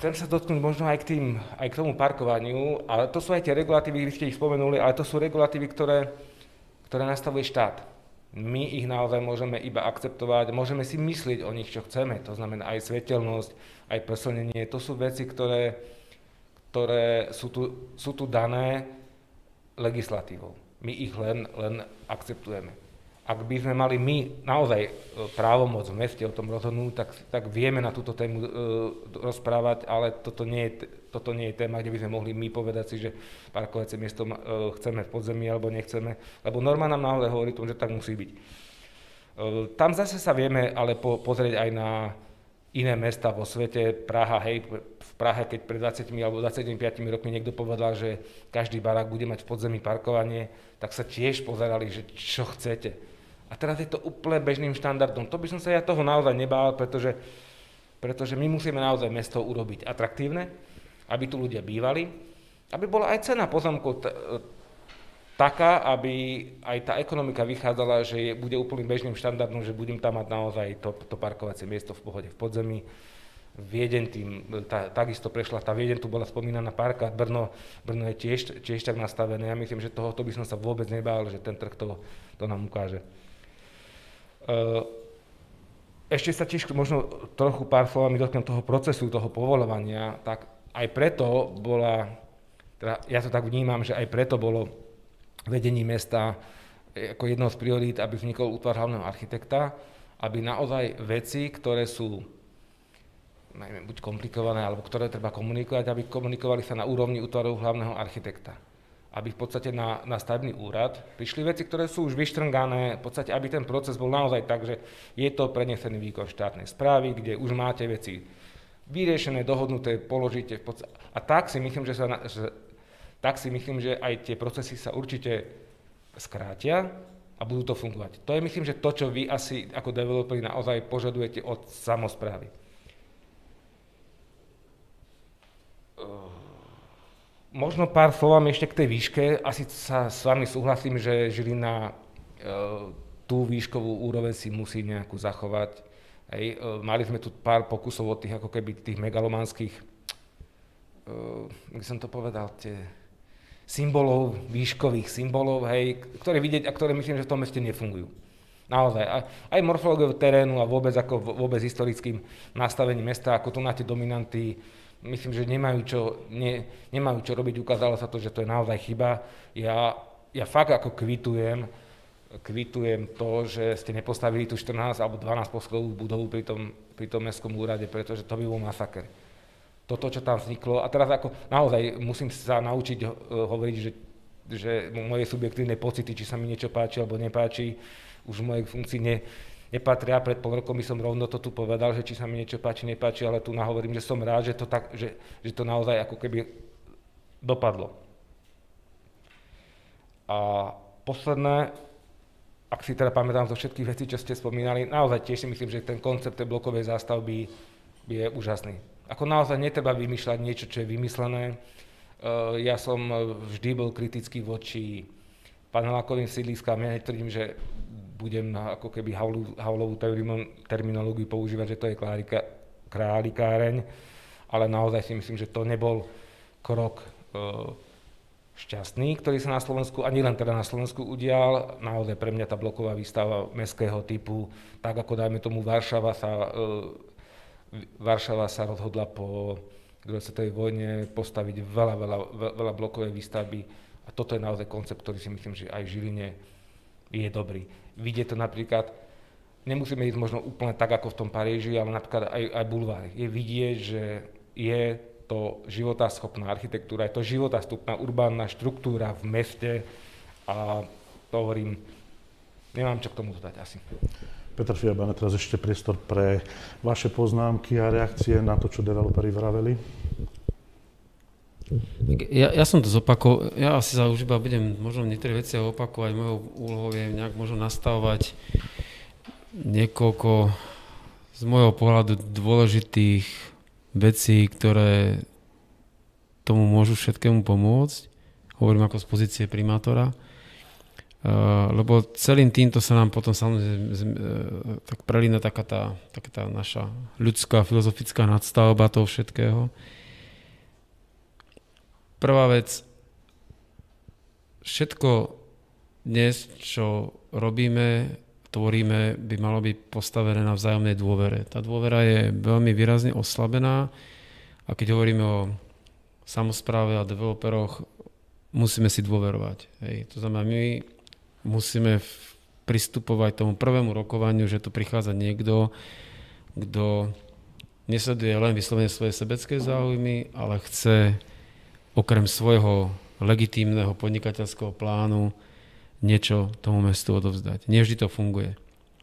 Na druhej strane ten developer musí mať istotu a dôveru, že to mesto je kompetentné, že, že je dostatočne pripravené a to páni vlastne povedali, že nie vždy to funguje od toho útvaru hlavného architekta, cez ten stavebný úrad, cez tie jednotlivé a oddelenia cez tie procesy byť veľmi rýchly a efektívny. Nie vždy to funguje. Jednoducho sme na nejakej ceste, uh, pre mňa bolo takým silným momentom, mal som, bola to návšteve pani veľvyslankyňa Rakúska a tiež sme sa dostali, dotkli nejako Viedne, lebo ona hovorila, že, ak sa jej, že sa jej páči ako Žilina centrum. Ja hovorím, no ako máme úžasné centrum, len akorát by sme ho potrebovali trošku dať do poriadku. A on hovorí, pán primátor, viete, keby ste prišli do Viedne, a, a spomenul som, že v 70. 80. rokoch socialisti vo Viedni robili úžasný územný nový plán mesta. Oni boli tiež ďaleko od vody, mm. uh, Viedeň a, a tá dnes Viedeň je vlastne na tom vlastne buduje to svoju súčasnú budúcnosť, že vtedy niekto múdry sa dal dokopy, došlo tam k nejakému podľa mňa aj spoločenskému konsenzu a vytvorili niečo, čo dneska robí z Viedne mesto, ktoré je konštatované, že sa umiestňuje aj na tých rebríčkoch kvality života na tých prvých miestach. To znamená, a ona povedala, viete, keby ste prišli 70. rokov do Viedne, tak je to jedno špinavé, šedivé, nezaujímavé mesto. Dnes sme niekde inde.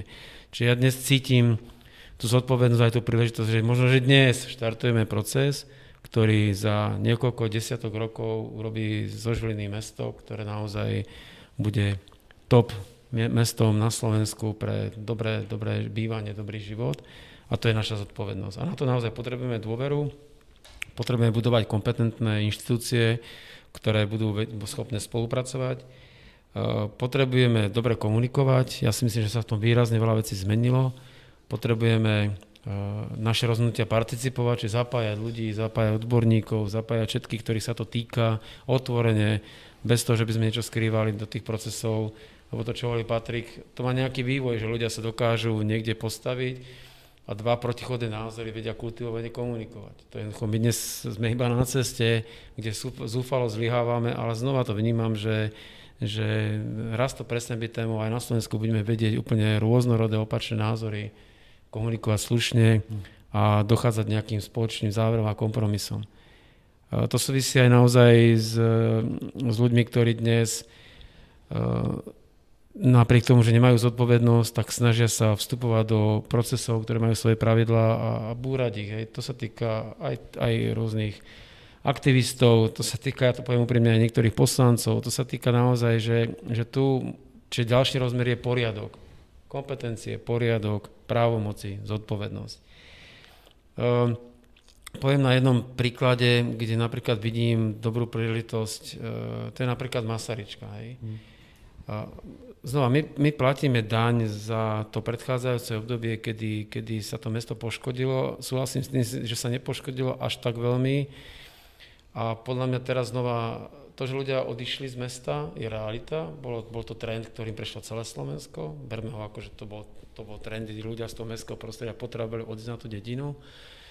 Ja si myslím, že dnes čas ľudí už, už je precitla, lebo nie vždy je to spojené iba so samými tými pozitívami, ale má to aj svoje problémy. A dnes je povinnosťou mesta vytvárať to proste také, aby ľudia, ktorí, u ktorých prevážia benefity toho mesta, aby sa vrátili naspäť došlo k jednej zásadnej zmene, Ruto naznačil, že veľká časť Žlinčanov odišla a do Žiliny prišli ľudia, ktorí nikdy so Žilinou neboli spojení, nevyrástli tu, nestrávili tu detstvo, nemajú tu korene. A tí ľudia sa v tom mestskom prostredí správajú inak. Niektorí veľmi primitívne, že alebo musím tak povedať, ale niektorí veľmi moderne. Že oni potrebujú mesto, aby fungovalo, doprava, verejný priestor, obchody, školy, toto očakávajú. Hej? A to, to, je, to je dobrý partner, pretože ten, ten chce progres, ten chce proste, aby to fungovalo. Ale tu Masaryčku chcem povedať, že to je tiež priestor, to je ideálny príklad, čím tá Masaryčka prešla. Dneska to, to vnímam, že dnes sa ozývajú hlasy z Masaryčky, majiteľov budov, že by radi ju vrátili niekde naspäť, aby nebola tým, čím dnes je. A možno, že tam stačilo niekoľko krokov, znova vrátiť tomu priestoru na tej ulici, aby tam mohli byť terasy, ja vnímam, že veľmi silným momentom by bolo, keby sme tam vrátili bývanie, lebo tí, čo tam budú bývať, budú vytvárať tlak na to, aby tam neboli len lacné šopy, ale aby tam naozaj boli aj kaviarničky, reštaurácie, iné služby. A v tom momente tá Masaryčka, a to je možno otázka, ako sa bulvár zmenil za pár rokov, tak sa znova zmení Masaryčka. A tu je úloha mesta to vnímať, cítiť to a pomáhať tomu. Takže len toľko naozaj. Ja si myslím, že sme na ceste, sme na dobrej ceste. Nechcem tu tému ešte samozrejme uzatvárať. Vnímam, kde, kde sú naša zodpovednosť, naše kompetencie, kde my musíme veľmi silne pracovať. Chcem povedať, že toto nie je naozaj na ani mesiace, mm. to je naozaj cesta na roky. Ale pokiaľ budeme partnermi, budeme sa počúvať, bude vytvorený priestor na komunikáciu, tak ja som veľký optimista. Záverečné poznámky z vašej strany, nech sa páči. Ja som chcel ešte nadviazať a možno tu dať takú naozaj inšpiráciu, keď uh, hovoríme o tvorbe územného plánu. To, čo sme tu nepovedali, je, mm, ja som to naznačoval, že prečo je ten vývoj aj tých cien a bytov, teda tá Žilina rastie asi najdynamickejšie po Bratislave. Spomenul som tie povolacie procesy, hej, čím viacej projektov povolených týchto bude. Ale zároveň možno takú inšpiráciu do toho tvorby územného plánu neotvorili sme nájomné bývanie, hej, ktoré je podľa mňa kľúčovou zásadou pre, pre Žilinu, ako chce dosiahnuť tú migráciu nových ľudí, hej, lebo tá je kľúčová. Máme určité sociologické skupiny, aj, aj príjmové, teda nižšie príjmové, vyššie príjmové, menej vzdelanostné, viacej vzdelanostné. Hej. A toto, keď tu nedosiahneme, tak naozaj do Žiliny budú kupovať len tí ľudia, ktorí majú na to peniaze, aby si kupovali tie drahšie byty. Čiže naozaj zakomponovať v novom územnom pláne, navrhujem to, ten mix tých, tých sociologických skupín, že do komerčného bývania zakomponovať to nájomné bývanie. Chyba tu, nemám teraz aktuálny počet žiadateľov, ale tuším, tak 3-4 roky dozadu ich bolo okolo 1500. Hej, neviem, vy, vy ma viete asi povedať skôr, možno teraz je 2000, neviem. Hej. Čo, 250, hej, alebo z roku 2012, sa mi dá, 2012 mám ešte posledný údaj, okolo, okolo 1500, hej, hej, ale treba to, hej, dneska tá legislatíva uh, toto mestu akože zjednodušila tým, že teda odbúrala tie obstarávania projektantov, stavebných firiem, hej, že, že vie toto preniesť na developera, hej, ktorý, ktorý jej aj takýto produkt pripraví hej, v rámci toho nejakého väčšieho územia. My sa preto zaberáme väčším územím, lebo ten mix tých funkcií je tam dôležitý. Jedný z tých mix funkcií je aj, tá, aj, aj to nájomné bývanie. Hej. Uh, iba takto posunieme teda to mesto, respektíve tú spoločnosť ďalej. Tí sociálne slabší, ktorí keď uvidia tých, tých e, vzdelaných ľudí, ktorí majú príjem, budú viacej motivovaní vytvárať to. Hej. Môže tam následovať samozrejme výmena aj v rámci toho bývania, hej, že posunul som sa aj za 10 rokov inde, kúpim si ten drahší byt a takto. Hej, čiže tou migráciou tých ľudí priláka aj tým nájomným bývaním. Neviem, teraz, bol, teraz pán primátor asi bude vedieť cez most alebo cez Uniu miest, je bol v prvom čítaní prešiel zákon o ŠFRB. Uh, podľa mňa zase s nami vláda vypiekla, lebo do, e, cieľom toho malo byť aj zvýšenie teda výdavkov na, e, na teda stavebných výdavkov. To prešlo, ale v tom úverovom vzťahu, hej. Ale v tých dotačných schémach to vôbec neprešlo, čiže štát vám zase neumožnil ako keby čerpať dotácie, lebo za tú cenu tých 1000 eur na metr štvorcový to s vami asi nikto nepostaví, ale ale chce ako keby len točíte úverové peniaze, ktoré by ste splácali, ale zase vám ako keby narastie tá cena nájmu. Hej. Čiže podľa mňa nešťastné, treba to ešte zachytiť v druhom čítaní, to pôjde teraz v novembri a um, treba o to zabojovať, lebo bez, tých, bez tej dotačnej schémy nebudete schopní uh, tie, tie byty postaviť. Uh, je, to, je, je to fakt akože vážna téma, lebo lebo uh, naozaj dneska nenájdete stavebnú firmu, ktorá vám za tieto peniaze to postaví. A developer je na to pripravený. Uh, my to robíme, teraz pripravujeme okolo 500 bytov uh, do nájomného bývania a vy, ak máte partnera, tak viete dneska už ten byt ako sa s ním dohodnúť a, a kúpiť ho, nech vám ho postaví bez rizika, bez ničoho. Si ho viete zazmluviť, nech vám to za dva roky nejakým spôsobom vybuduje, pokiaľ má samozrejme tie možnosti. Čiže toto je... Áno, vy to, si viete predstaviť to, spoluprácu s developermi na rozvoj nájomného bývania, pretože mesto má viac projektov, ale v reále nič sa nestavia.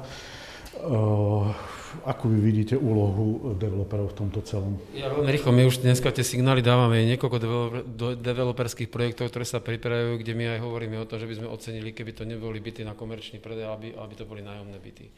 Čiže my, to, my už jednoznačne dnes hovoríme, že sme na to pripravení. Bežná schéma je, developer postaví, odovzdá mesto, cez sa prefinancuje Eh, s tým, že opakujem, signály dávame, eh, aj nejakú reakciu na to máme, to je jedna vec. Druhá vec je, my sme signál voči ministerstvu dopravy a výstavby dali, že dnes všetky byty nájomné sú považované za sociálne byty. My mm. potrebujeme, aby, aby vlastne toto rozšírili, aby to boli byty rôznych kategórií, sociálne bývanie, aby to boli štartovacie byty, aby to boli pre mladé rodiny, aby sme, aby sme mali možnosť E, to rozdeliť, lebo dneska vlastne všetky mestské nájomné byty a Žilina má dobrý potenciál, má nejakých tisíc, necelý 1200 nájomných bytov, čo je zo všetkých krajských miest najviac. Sú to všetko sociálne, ako keby sociálne byty, čo tým mestám spôsobuje obrovské problémy. To potrebujeme diverzifikovať a potom samozrejme s partnermi budovať ďalšie množstvo nájomných bytov. My sme na to naozaj pripravení, samozrejme otázka legislatívy, ale my by sme veľmi radi vítali, keby sa to prekopilo úplne, že sa dneska príde obdobie budovania nájomných bytov, lebo to pomôže tomu bývaniu v tom meste. Mhm. A ešte záverečná poznámka, musíme končiť. No, mm, veľmi uh, zásadné vďačné témy, uh, len asi na záver by som to trošku možno osviežil, že Uh, samozrejme to nájomné bývanie je téma, aj keď komerčný developer není na to úplne um, pripravený kvôli tomu, že tie legislatívne predpoklady na to neexistujú, ale my sme svoju pripravenosť deklarovali ale uh, zabudli sme v rámci toho uh, rozvoja mesta spomenúť um, aj veľmi dôležitý faktor a to je, to je zeleň. Uh, mesta potrebujú prinavrátiť tú zeleň vo podstatne väčšom rozsahu, ako si vy do, dokážete predstaviť. Ja som fanúšik zelene, ja ju doslova milujem a uh, um, našim rukopisom v každej stavbe, alebo snažíme sa o to, aby, aby sme vždy priniesli nejaký prvok tej zelene, ale, ale tak, takouto netradičnejšou formou, lebo každý očakáva intenzívnu zelenú strechu, extenzívnu zelenú strechu. To sú, to sú podľa mňa opatrenia na zazelenanie toho verejného priestoru, ktoré absolútne nepostačujú. Takže len, len toľko, že trošku neskromne, ale keď developer dokáže priniesť do projektu dospelý strom, ktorého hodnota je vyčíslená niekde na úrovni 30 až 50 tisíc eur a nepozrie sa na to, že, že je to nejakou, nejakou položkou v rozpočte, tak tí sú pre mňa, pre mňa frajeri, lebo mm, ten strom má široko, široko siahle dopady na, na fungovanie v meste, absorbuje CO2, produkuje O2, zachytáva prach, absorbuje hlučnosť a hlavne vytvára priestor pre faunu a flóru mikroorganizmov, ktoré to mesto, či sa nám to páči alebo nie, potrebuje na, na život. Tak ešte, ešte pán Tá zeleň je naozaj veľmi dobrá téma tiež si myslím, že je lepšia cesta ísť e, cestou kvality ako kvantity, že naozaj radšej tú kvalitnú zeleň, že chyba nám tu v podstate viac určite parkov a kvalitnej zelene, ktorá nám, e, to, ktorá nám prinesie tú zvýšenú kvalitu života, ako len keď budeme mať nejaké len plochy nejakého trávnika, ktorý len kosíme. To znamená, e, ako, ja si myslím, že, že zelená strecha už sa stane úplne bežným štandardom. Je to tiež téma na prvky na regulačné prvky aj v územnom pláne, aby sme nejaký ekoindex a podobné moderné regulačné prvky do územného plánu zaviedli. A teraz nás, nahodili ste tú tému tej, tej komunikácie. Viete, UH e, pripravuje v podstate nové priestory. Myslím, že v blízkej budúcnosti budeme sedieť v nových priestoroch, kde bude aj priestor na to, aj priestorové možnosti nám to budú umožňovať a dúfam, že nám to umožní aj tento tento COVID, aby sme sa mohli s developermi stretávať možno na nejakej aj pravidelnej báze, aby sme vedeli komunikovať nielen s developermi, teda aj s partnermi. Ako UHA by mal, ma, UHA vzniklo aj za účelom naozaj platformy komunikácie. Lebo naozaj veľakrát nám chýbala aj tá komunikácia a to vzájomné naozaj vysvetľovanie a chceme naozaj byť tou platformou, kde budeme naozaj kultivovane, odborne hovoriť nielen o regulačných prvkoch územnom pláne, o rozvoji, o zelení, ale naozaj úplne všetkých aspektoch rozvoja tohto, tohto, tohto mesta. Pán primátor, úplne na záver, um, trošku zjednodušíme toto všetko, o čom tu hovoríme. Ste v polovici funkčného obdobia, uh, vaši voliči aj nevoliči očakávajú uh, zmeny vo verejnom priestore, chcú vidieť zlepšenia v kvalite verejného priestoru, v tej kvalite zelene, chcú vidieť nejaké výsledky v obnove ulic, revitalizáciu sídlisk, čistotu samozrejme.